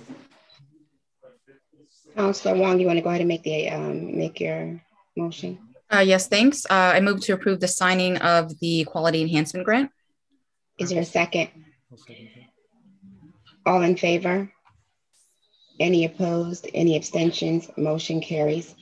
At this time, uh, the next motions, Councilor uh, Calhoun will be yours. 2021-78, consider and take action regarding appointment to the Bloomfield Recreation Committee. Mayor, I'm sorry. Um, you missed the item. It's a review, discussion, action, policy 1110. Oh, I'm so very sorry. Okay. Uh, 2021-77, discussing possible action regarding policy 110.11, uh, grant opportunities by town boards, commissions, committee, and agencies. Um, Councillor Goff. Yes, Madam Mayor. Um, just because uh, uh, I, I, saw this on the agenda, uh, could we just have some um, background on why this is being proposed, what you know, what office it came out of, and what the reasoning behind it is before we discuss it? Thank you. I believe that uh, the town manager will give some input, but I also believe that this might be going to, or should be going to admin education. Go ahead, Mr. Schenck. Uh, yes, I think that uh, there have been some applications uh, for grant funding that have been made uh, independently of the town by some of the uh, council's advisory committees. And it was thought that perhaps we better at least put some controls uh, on this, at least so that the council uh, is involved with the approval process uh, for boards and commissions and so forth that might be interested in applying for grants. So that's kind of the, the background on it. Councillor Wong. Uh, thank you, Madam Mayor. I think this is a good policy. I, uh, if you remember when Jonathan Teasy brought up the urban grant program, we would, if we opted in, we would be opted out of additional opportunities from a grant perspective. So I think that this is a good way for us to cross functionally uh, and regulatory check uh, some items at the highest level so we don't uh, we don't make sure we don't opt out of other opportunities when it comes to getting funding from a, a larger dollar standpoint. So I think this is good, and I'm willing to make the motion to refer it to admin education as well. But thank you, Madam Mayor. I'm going to go with Councillor Curtin and then back to Councillor Goff. Um, uh, thank you, Madam Mayor. I would like a little bit more content from the town manager on this because I think this is another example of where we have boards and commissions who are going off and doing things on their own. And once again, I talked about an organization and structure. We have to really go through a process in identifying that these boards and commissions are not independent of the council and the administration. There is a work in tandem in a sense where they have to go through the right uh, procedure. And uh, this is just, it, it's chaos. And this is a perfect example of what we talked about before. We have professionals, we have to let them do their jobs. Mr. Schenck? Yes. Yeah, I think uh, we've had a situation here, and it was a positive situation where I believe it was the uh, Beautification Committee and also the CEEC uh, have applied for grants uh, independently of the, of the town uh, without any type of uh, controls over it in terms of the finances, where the money comes from, where it goes to, what are the requirements of the grant. Uh, the town gets audited on grants, both federal, state, and of course, by other nonprofits, potentially through the Hartford Foundation or others that might be applying. I, I just don't think we want to have our 30 plus or minus boards and commissions out independently applying for grant money without some form of uh, coordination at, at the council level uh, in, in terms of uh, uh, of these types of actions. So that's kind of what's generated it. So I'm going to let Deputy Mayor go and then Councilor Goff, and then that'll be that. Yeah, yeah I, uh, I thank you for the explanation because I didn't understand why this was going on either. And uh, for uh, um, to be transparent, my wife is on the beautification committee, Councilor Curtin, but I'm going to speak anyway. And, and I just want to say that uh, I don't have any problem as long as if, if we're creating procedures that protect and make everybody understand what's happening. Uh, I think, however, it shouldn't be misrepresented that these people went and did this on their own. They were in contact with town administration, they have departmental advisors, and there was communication. Now, if there needs to be a council approval of everything that goes through for for for um, grant applications, that's one thing, and that's and that may be may be valuable, may be worthwhile, but I don't think we should do anything that would stifle innovation or uh, in self-interest. Uh, how many grants did the town receive in the last year? How, we don't have a motivated uh, effort to go after grants. I'm not saying that this group is should not that, that that these that these grants shouldn't be put into some sort of context, but the town needs to be filing for grants as well, and we need to be making that and, and encouraging people to do that, not to tie their hands up necessarily. So I think whatever it is this, that we discuss with regard to this policy, it should be uh, a little bit more flexible and allowing for people to be to be, uh, uh, use their own interest and motivation, not people but organizations or committees we're talking about, because uh, if we stifle them in the beginning by making them come to council, uh, they may not go out and do these things uh, and that goes for staff too. Uh, so it's a fine line, and I just think we are. I, am all for for trying to rein rein something in, but let's be careful of the words we use. So I did say that we're going to go with Councillor Goff, and that's going to be it. And then I saw other hands up. Um, we still have a mighty long way to go on this agenda, and I'm just asking us, please, to be mindful of that. Councillor Goff and Councillor Curtin, I'm going to have you all both wait as Councillor Merritt has not said anything as yet. Councillor Merritt, please be brief. You're on mute. I know. I, I, I was. I just muted myself because I was going to defer to your comments, but I really strongly feel that we should encourage everybody to go out for grants and, and just and make them very clear that all we want to do is coordinate and communicate because frankly staff historically not so much now they're doing a much better job in the last few years but bloomfield's uh, town staff has done a horrible job of looking for grants up until the last few years and i i think anybody any committee that's wants to do the groundwork, that's wonderful. And but I do, I think, it, I think the idea of keeping track of it and and having some oversight is is also desirable. Thank you.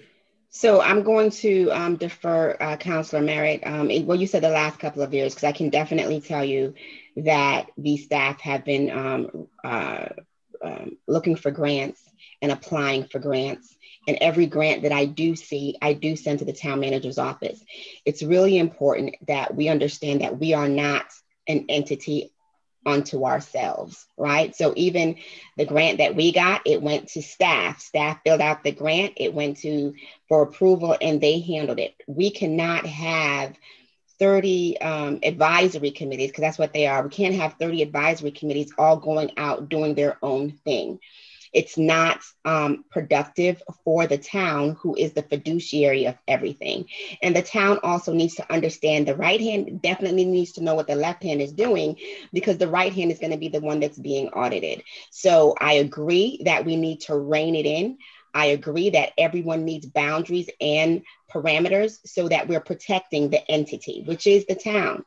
Um, so I'm going to now give uh, Councillor Goff and Councillor Curtin a minute to go ahead and say what they have to say. And then I'm going to ask Councillor Wong to make an, a motion and then we're going to move on. Councillor Goff, a minute. Yes, thank you, Madam Mayor. Um, no, I agree with uh, uh, most of what has been said uh, by Councillor Wong and Councillor Merritt. I, I think it's important.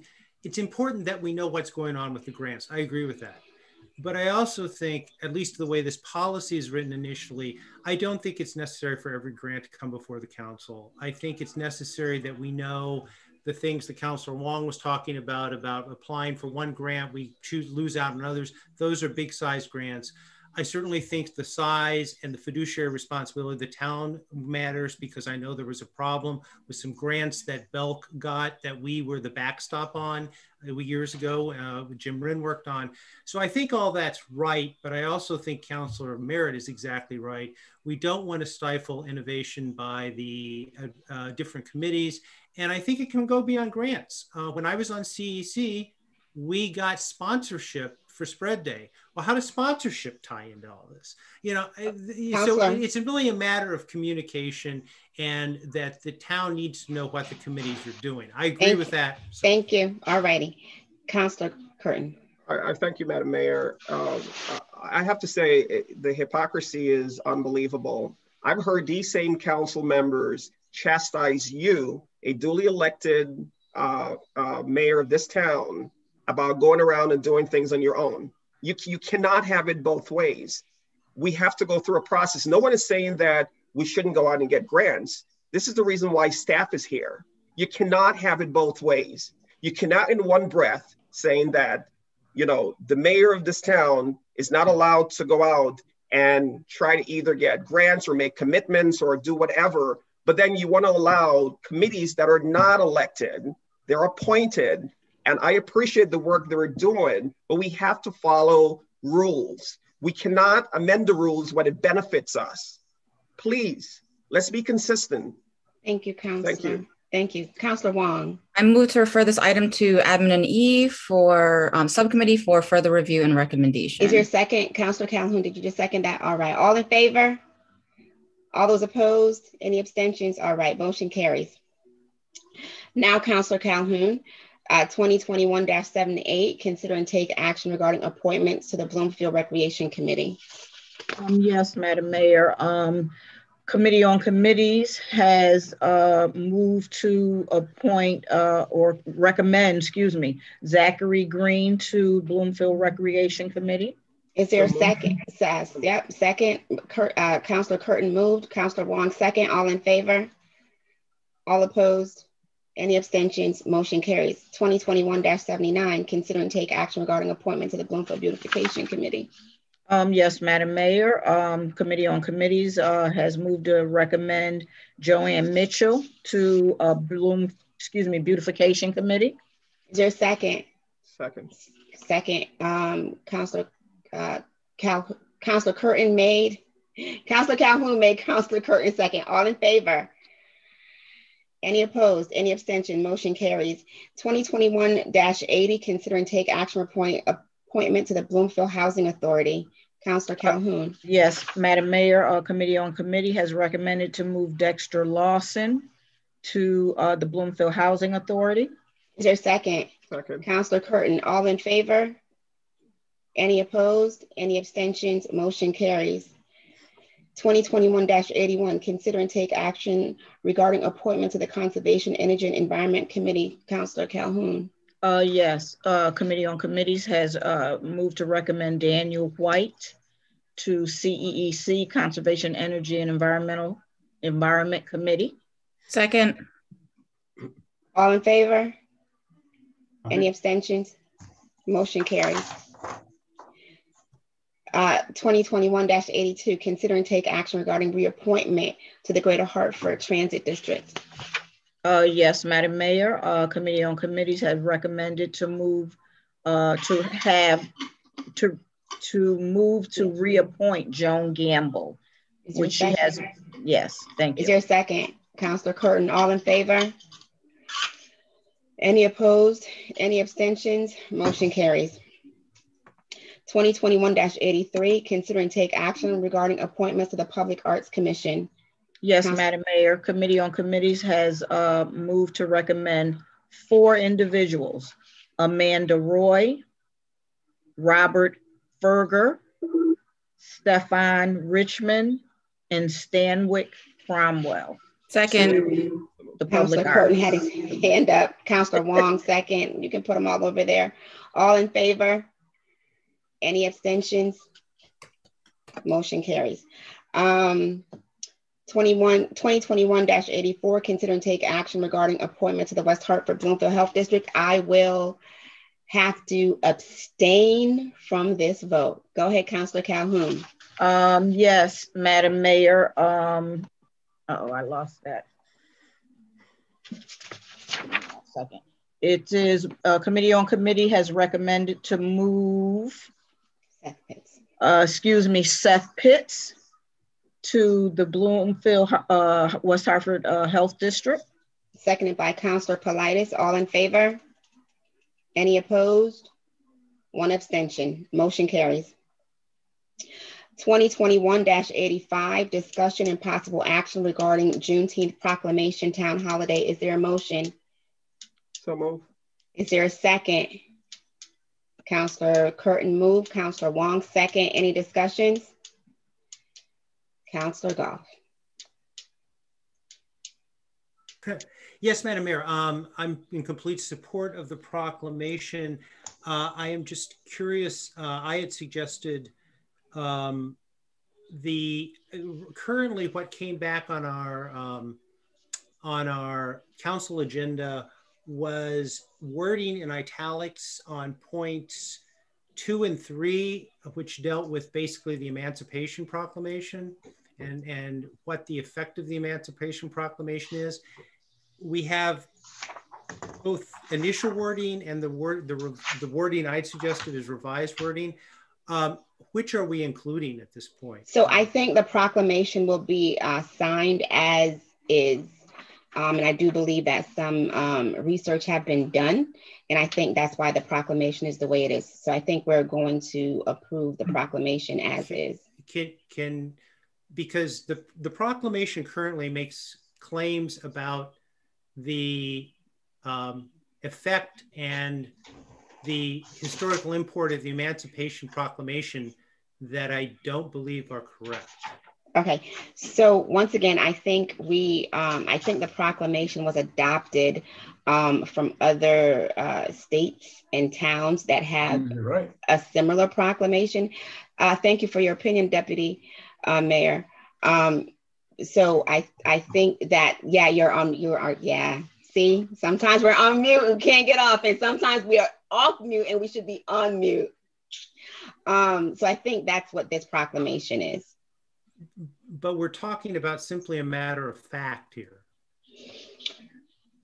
Okay, um, Counselor. Madam Mayor, could you have um, I'm I'm gonna India read the, the the proclamation the way it is right now, please?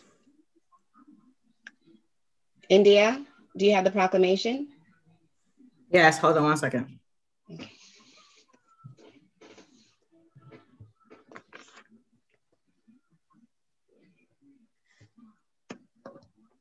So I think probably the, the words in italics, uh, Counselor, was your suggestion. However, the proclamation was adopted from another town's proclamation that was already signed. So I think that's where we are. Um, India, you got it? If you don't have it, I can read it. I have it right here. Hold on. Okay.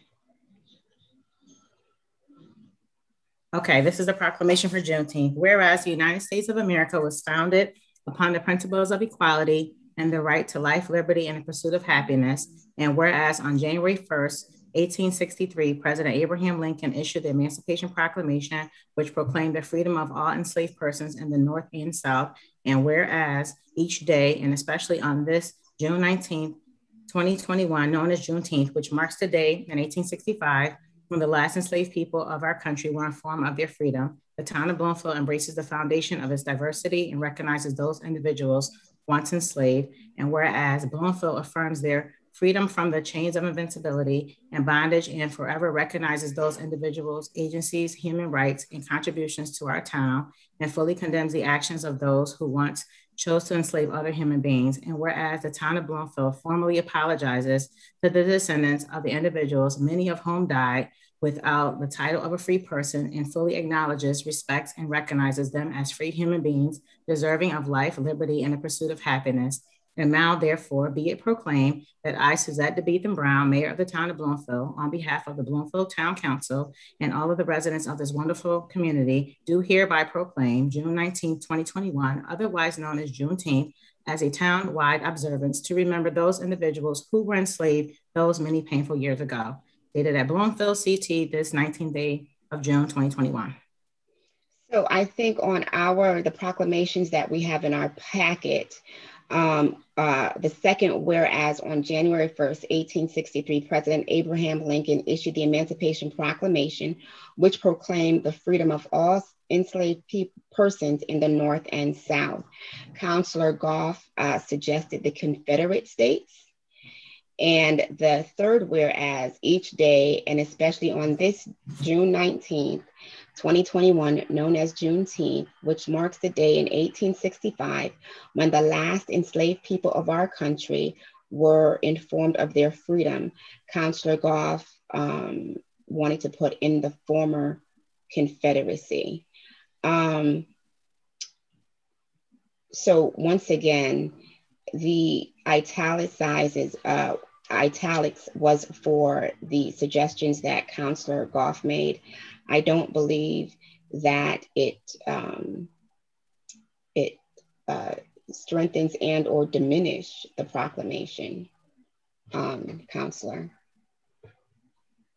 Um,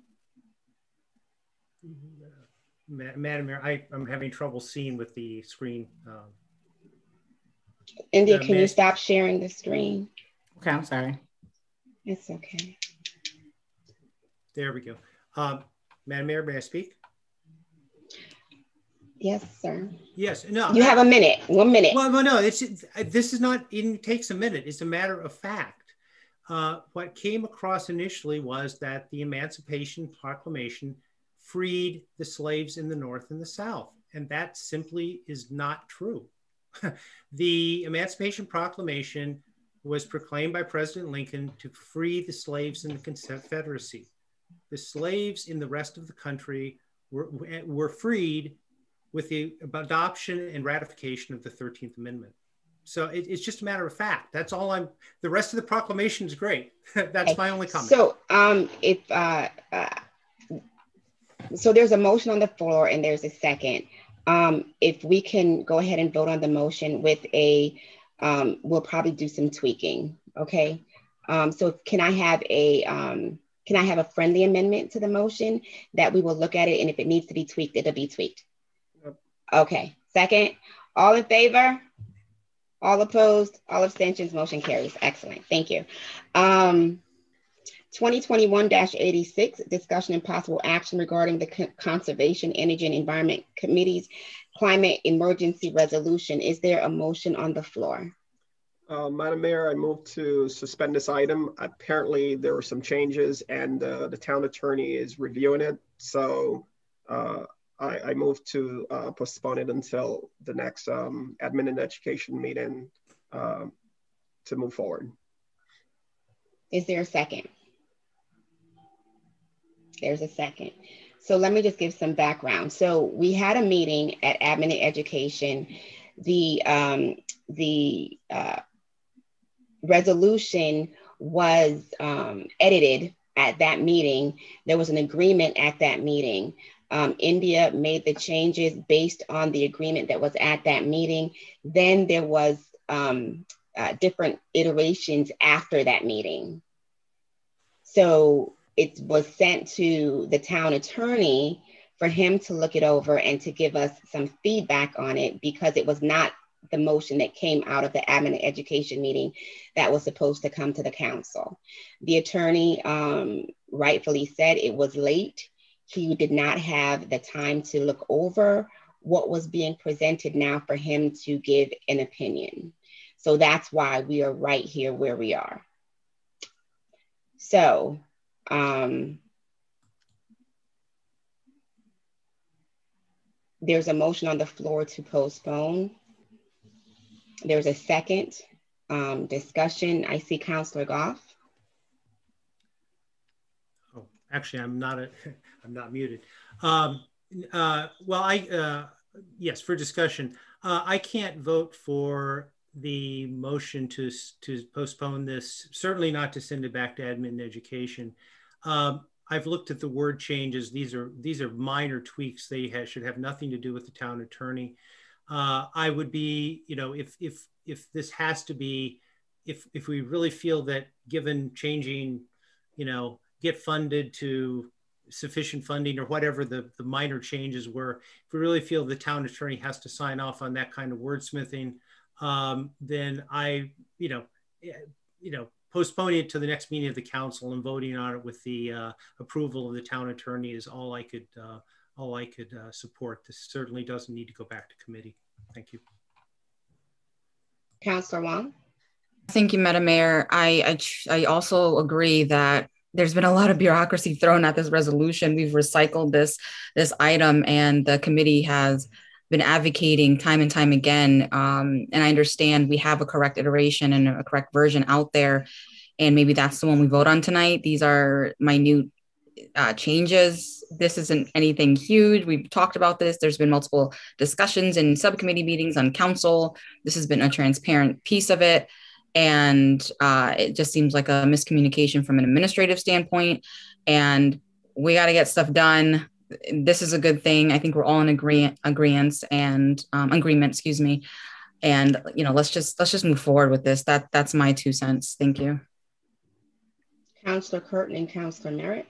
Right, thank you, Madam Mayor. I, I just want to add uh, from a process standpoint, um, when, when, an item is in committee and there are changes, uh, what I would expect from that standpoint on is for staff to work on making those changes that came out of the meeting.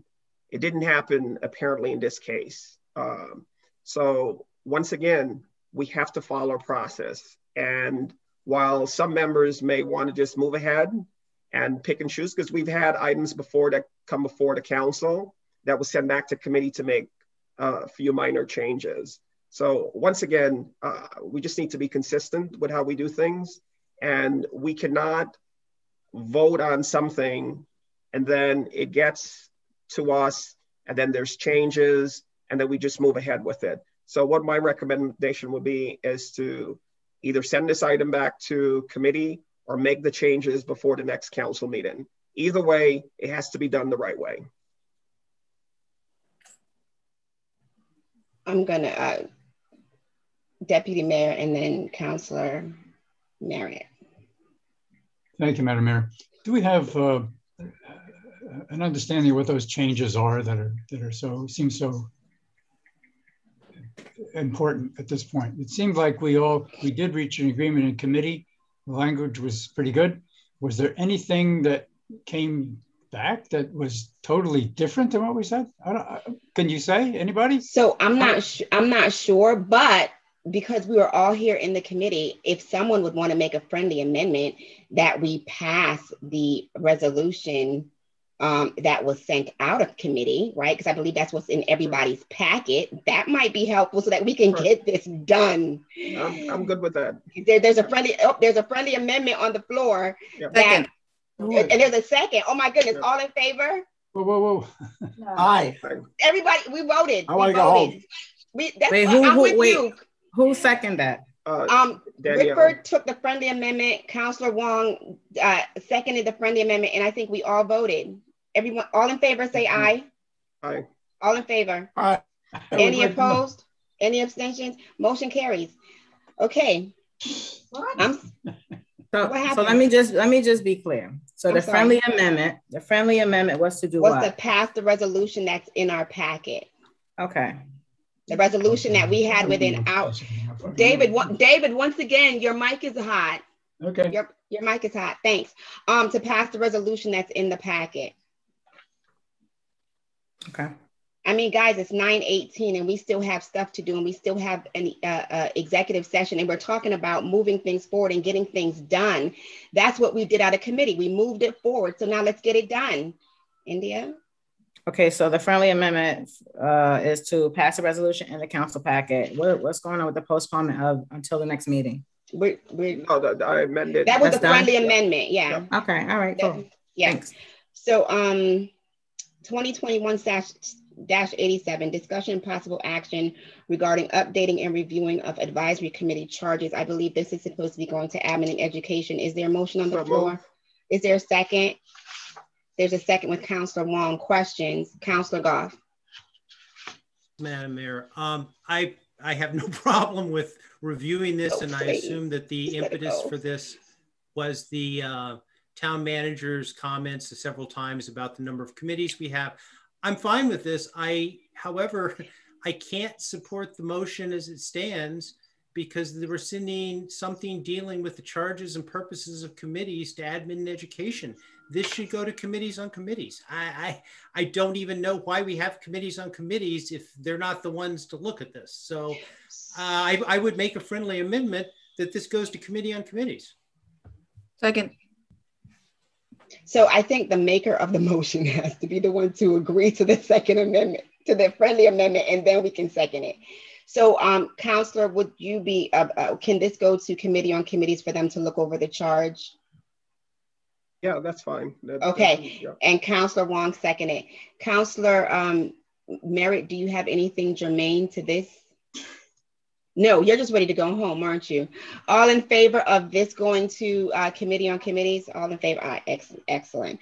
Um, uh, 2021-88, consider and take action regarding tax appeals and settlements. I believe we're going to be discussing this in exec. Okay, so we'll come back and take care of that.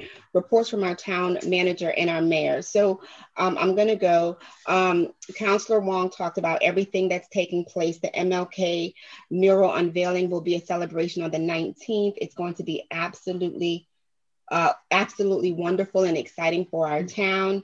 Um, celebrate Bloomfield concerts on the green.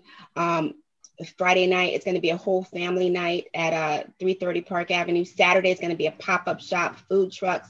It's going to be a celebration on the green. Saturday night, we're going to be celebrating some of our students um, at the mayor's ball. This mayor's ball is really for, for everyone to come back out. The tickets are have been cut uh, drastically from the last time we had the ball wonderfully enough, we have enough sponsors to cover the ball. Um, on Sunday, Octagon Bicycle is going to be doing a bike ride. We're going to be having a family picnic day at Filley Park. It's going to be absolutely wonderful.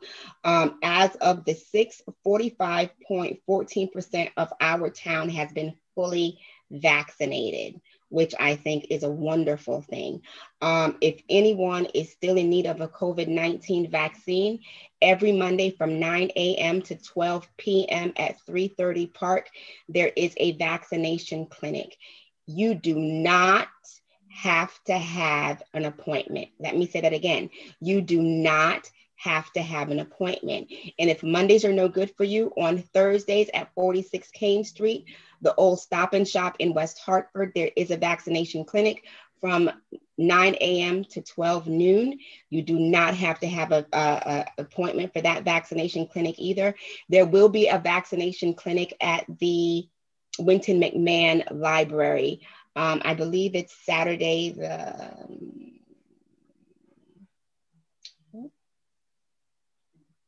Okay, so I'm not quite sure of the date, but it, we will have that information circulating through the town. At this time, we will have our report from our town manager.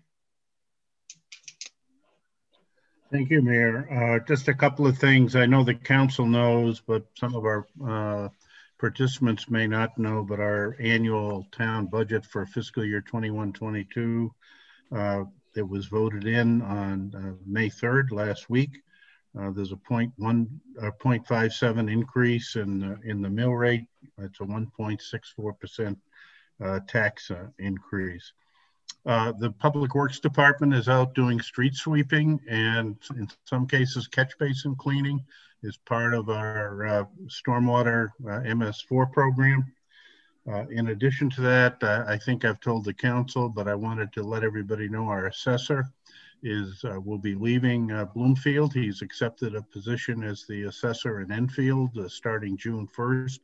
So we are currently reviewing job descriptions and the process and everything, and we'll be moving uh, forward to uh, recruit for, for a replacement assessor. We're in the process of uh, bringing in some transitional assistance so that we can go ahead and continue to process the necessary appeals that we have going and uh, conduct the normal uh, work in our assessing office. Um, we are on the verge or on the cusp, as was mentioned, I think, by Gail Nolan earlier, of getting uh, some uh, really good advice, hopefully, from the Treasury Department at the federal level on the ARP or the American Relief uh, Program uh, coming up. And there will be guidance in there on the money that the town will end up receiving we uh, have received word, subject always to change and modification, that may we may be receiving up to 2.2 million dollars in additional uh, funding from the federal government due to the COVID pandemic. Uh, there are some restrictions, and that's what we're waiting for from the Department of Treasury. And as soon as we get those, uh, we'll go ahead and look at what we can do and what we can't do and how we have to do it. So uh, that's a, a good process uh, the town manager search process. Uh, the mayor and uh, the council search committee will be meeting uh, this week uh, and, and next week with the search consulting firm. Uh, applications, I believe, close tomorrow. and so I'm sure the mayor and search committee will be updating the council as we go forward on, on the process. So that completes my report. Thank you very much. Um, we're going to go into approval of minutes.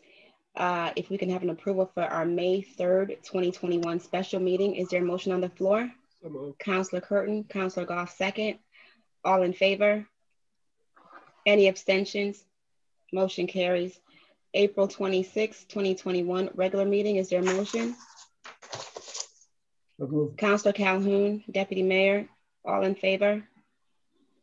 Any opposed? Any abstentions? Council, uh, April 22nd, 2021 special meeting. Is there a motion? Councillor Calhoun, Deputy Mayor, all in favor? All opposed? Any abstentions? Council I believe I abstain. I, I wasn't present. One abstention. Council comments. We'll start with Councillor Merritt. You're mute. You're on mute. You're on mute. Did he leave? okay, so he didn't have any comment. Okay. I think he turned off his screen rather than turning on his. Uh... Councillor Calhoun. Um, yes, Madam Mayor. Um, I really don't have too much to say. It's just that I just want to reiterate what was stated earlier. Um, um, we we need to really keep uh, our, our our council brother in our in our hearts and and prayers, and with the loss of his wife, that's tremendous um, for him. And right now, I know he's grieving immensely. Um, so uh, we we need to just uh, do that.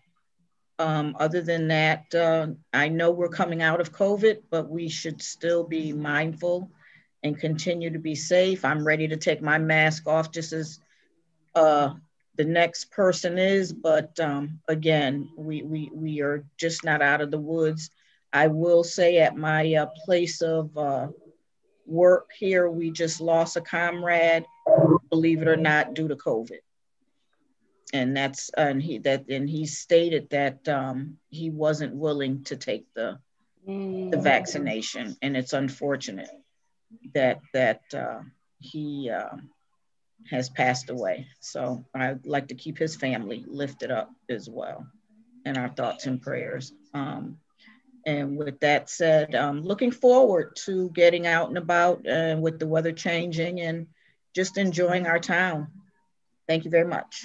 Excellent. So sorry to hear about your colleague, Councillor Goff. Thank you, Madam Mayor. And yes, thank, uh, Councillor Calhoun, I'm sorry to hear that. I'm sure that's a devastating thing in the workplace. Uh, very, very sad. And uh, especially when hopefully a, a, bit of the end is in sight. Um, let's see, I, I just had, um, I, I, think it's been mentioned several times of all of the great events we had in the last couple of weeks for the uh, Trees for Bloomfield initiative and uh, what a great public service that's doing to uh, our town and hopefully improving the quality of life. I also want to mention in terms of um, in terms of economic development a bit. Uh, everyone should be aware that this is American Craft Beer Week, and uh, you know, Bloomfield is a, a, lucky place because we have two of the larger uh, independent craft beer um, craft beer entities in the state of Connecticut, uh, Hooker and Back East, and both are doing quite well. I think they've weathered. I know Back East has weathered the pandemic quite well. Uh, this is the kind of small local business that we need to promote. It is the kind of thing that easily integrates with other things such as farm to table products, uh, local growing of hops, um, and um, things like the Greenway ultimately. So um, it's it's American Craft Beer Week. So uh, check out the events at both Hooker and Back East and start to get out. So um, with that, I will say good night. Thank you. Councillor Politis. Uh, just like to reiterate um, my thoughts and prayers to Patrick and his family. Um, the loss of uh, a wife is devastating. Um, uh, look forward to him, you know, coming back um, and having a conversation with him. Um, and also to Councillor Calhoun for the loss of her colleague. Um, COVID has been a real struggle for everybody in this country, and it, it's it's it brings it becomes reality when it gets that close to home. So, um, just thoughts and prayers for everybody tonight. Thank you. Councillor Curtin. Uh, thank you, Madam Mayor. Um, want to start off as well, uh, Councillor Calhoun, the loss of your colleague, and um, uh, Councillor Politis. I did have an opportunity to talk with uh, our our colleague um, uh, Lorenzo I mean, he's having a tough time, and uh, definitely we need to pray for him and keep him in our thoughts. And you know, he's going through a tough time. He's going to need all of us to kind of rally around him and get him back um, with us. Um, I, I also I had a conversation with someone today who came into my office, and this person actually said that they're not taking the vaccine and they're hesitant because of a lot of information that's out there and I think it's important for us uh, in leadership to to spread the word, uh, share our experience, and especially for, for, for who on this council have taken the vaccine to, to help others. I think that's important. We need to get the maximum amount of folks in the community uh, for us to get to, to back to some sort of normalcy. So I think it's going to take all of us to do our part. Um, in addition to that, I just want to circle back to conversations we're having earlier. I think it's important for us to, to, to be careful and to be well aware that we serve the public at large. Uh, while I may have special feelings about my street and what I want to happen or my neighborhood, I'm always reminding myself that I'm not here to take care of my neck of the woods or whatever the case is. I was elected to serve the public at large. And every decision that we make and everything that we do, we always have to go back to, and to make sure we we we check that and say, okay, am I making a decision here for the town, or is it a personal thing, or is it for just a, uh, a special group? And I think we have to conduct ourselves in that manner. Too often, this council is caught on doing things that are either for themselves, in a sense, or for any special group. We have to start doing things for the community at large. And if it benefits the community, we do it. But we cannot, we cannot be circumventing the process. We cannot be telling staff, oh, what, what you say doesn't matter. We're just going to go ahead and do what we want. We cannot run uh, this operation like this. We have to let the professionals, we have to let the next town manager see that he's able, him or her is able to come into this organization and do their jobs. Uh, we cannot do that. We weren't elected to nitpick in every single area. We're here to implement policies. We're not here to run town operation. We're not here to have our wives or whoever calling town staff. Point of order. Them, this sounds like a personal attack. Mayor, this is, my, this is my opportunity. Yeah, and you still have to go by Robert's Rule of Order. wait, wait, wait, wait, wait, councilors, wait, come on. Madam Mayor. Come on. May I? Robert's Rule of Order, no personal attacks. May Continue, I speak? Please. You may. This is not an attack. This is this is this is reality. We cannot, and we cannot have members in this council. It's, it's unethical. Who's it's doing gotten it? to a point. It's unethical. Names.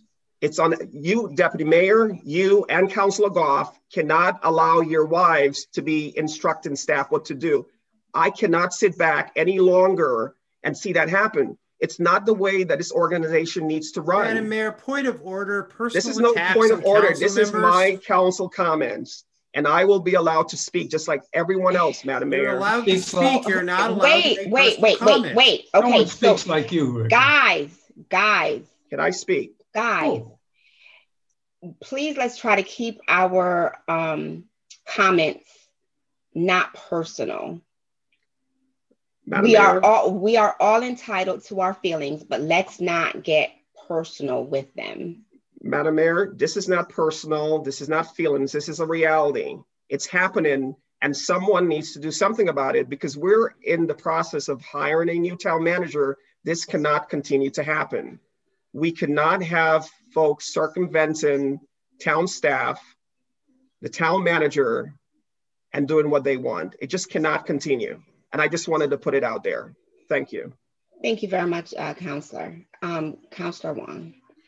Uh, thank you, Madam Mayor. I thoughts and prayers go out to our colleague Patrick um, for the loss of his wife, and and Councillor Calhoun. I'm very sorry for your loss too, from a colleague standpoint. Um, that's very unfortunate. So um, I know he's on our hearts and minds.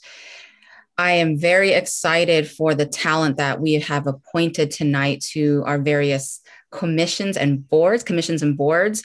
Uh, we have some superstars, and I'm just really uh, looking forward to the talent that they bring to the table. So I'm really happy that that's done. And we have some new commissions, including the Arts Commission, and we have some fresh uh, minds going into the CEC as well as the Parks and Recs Committee. So I'm really excited to see some some fresh blood here, uh, you know, um, as we move forward and really do some work at the town.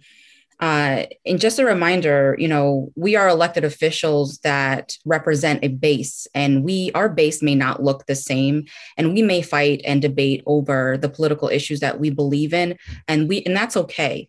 And because we don't agree doesn't mean we're circumventing a process. Because we don't agree doesn't mean because you know it's not your way or the highway, if you will. Speaking to all the counselors, we're here to debate. We're here to uh, create policy. We're here to uh, and it, it's by majority vote. So this is a democracy. This isn't a private sector. We we can do the things we need as long as we have the votes to do that. So um, I do denounce personal attacks. We should keep this professional.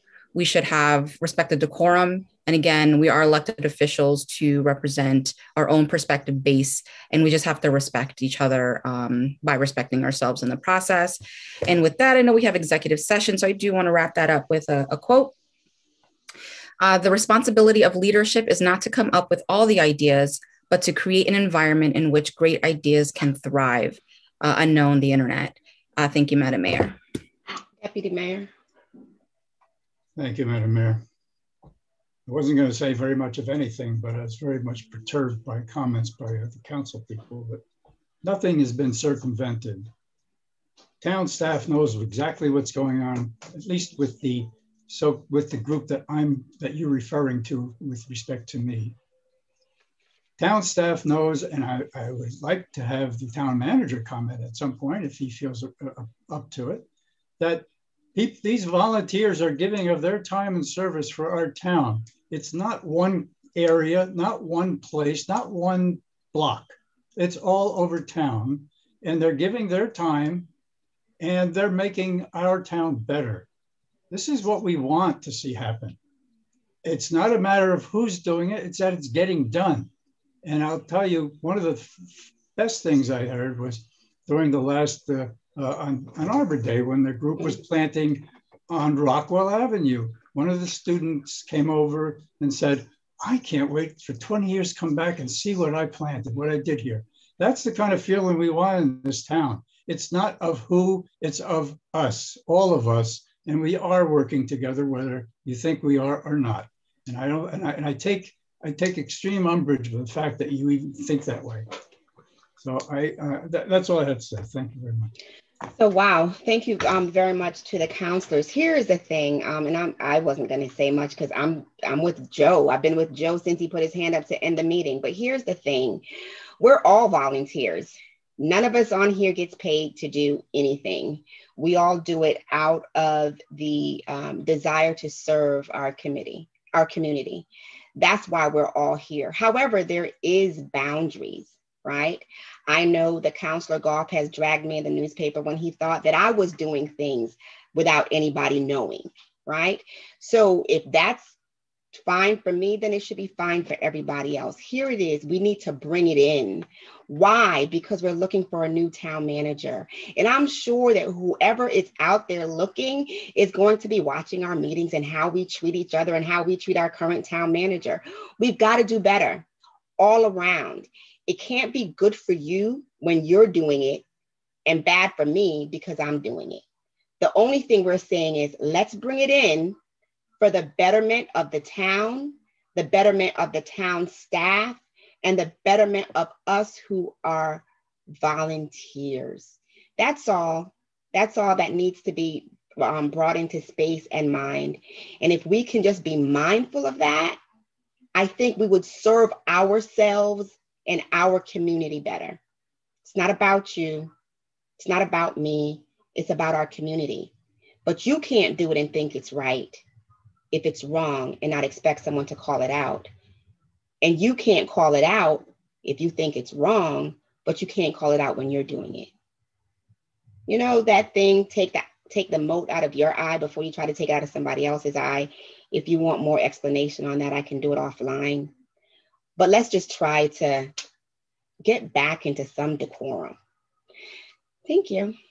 At this time, um, we're going to go into executive session with the town manager, the town attorney, and the assistant to the town manager. We'll be discussing uh, pending claims and litigations. Is there a motion on the floor? I saw Joe Merritt. I saw second by Councillor Kirton. Let's go into executive session and we will be back.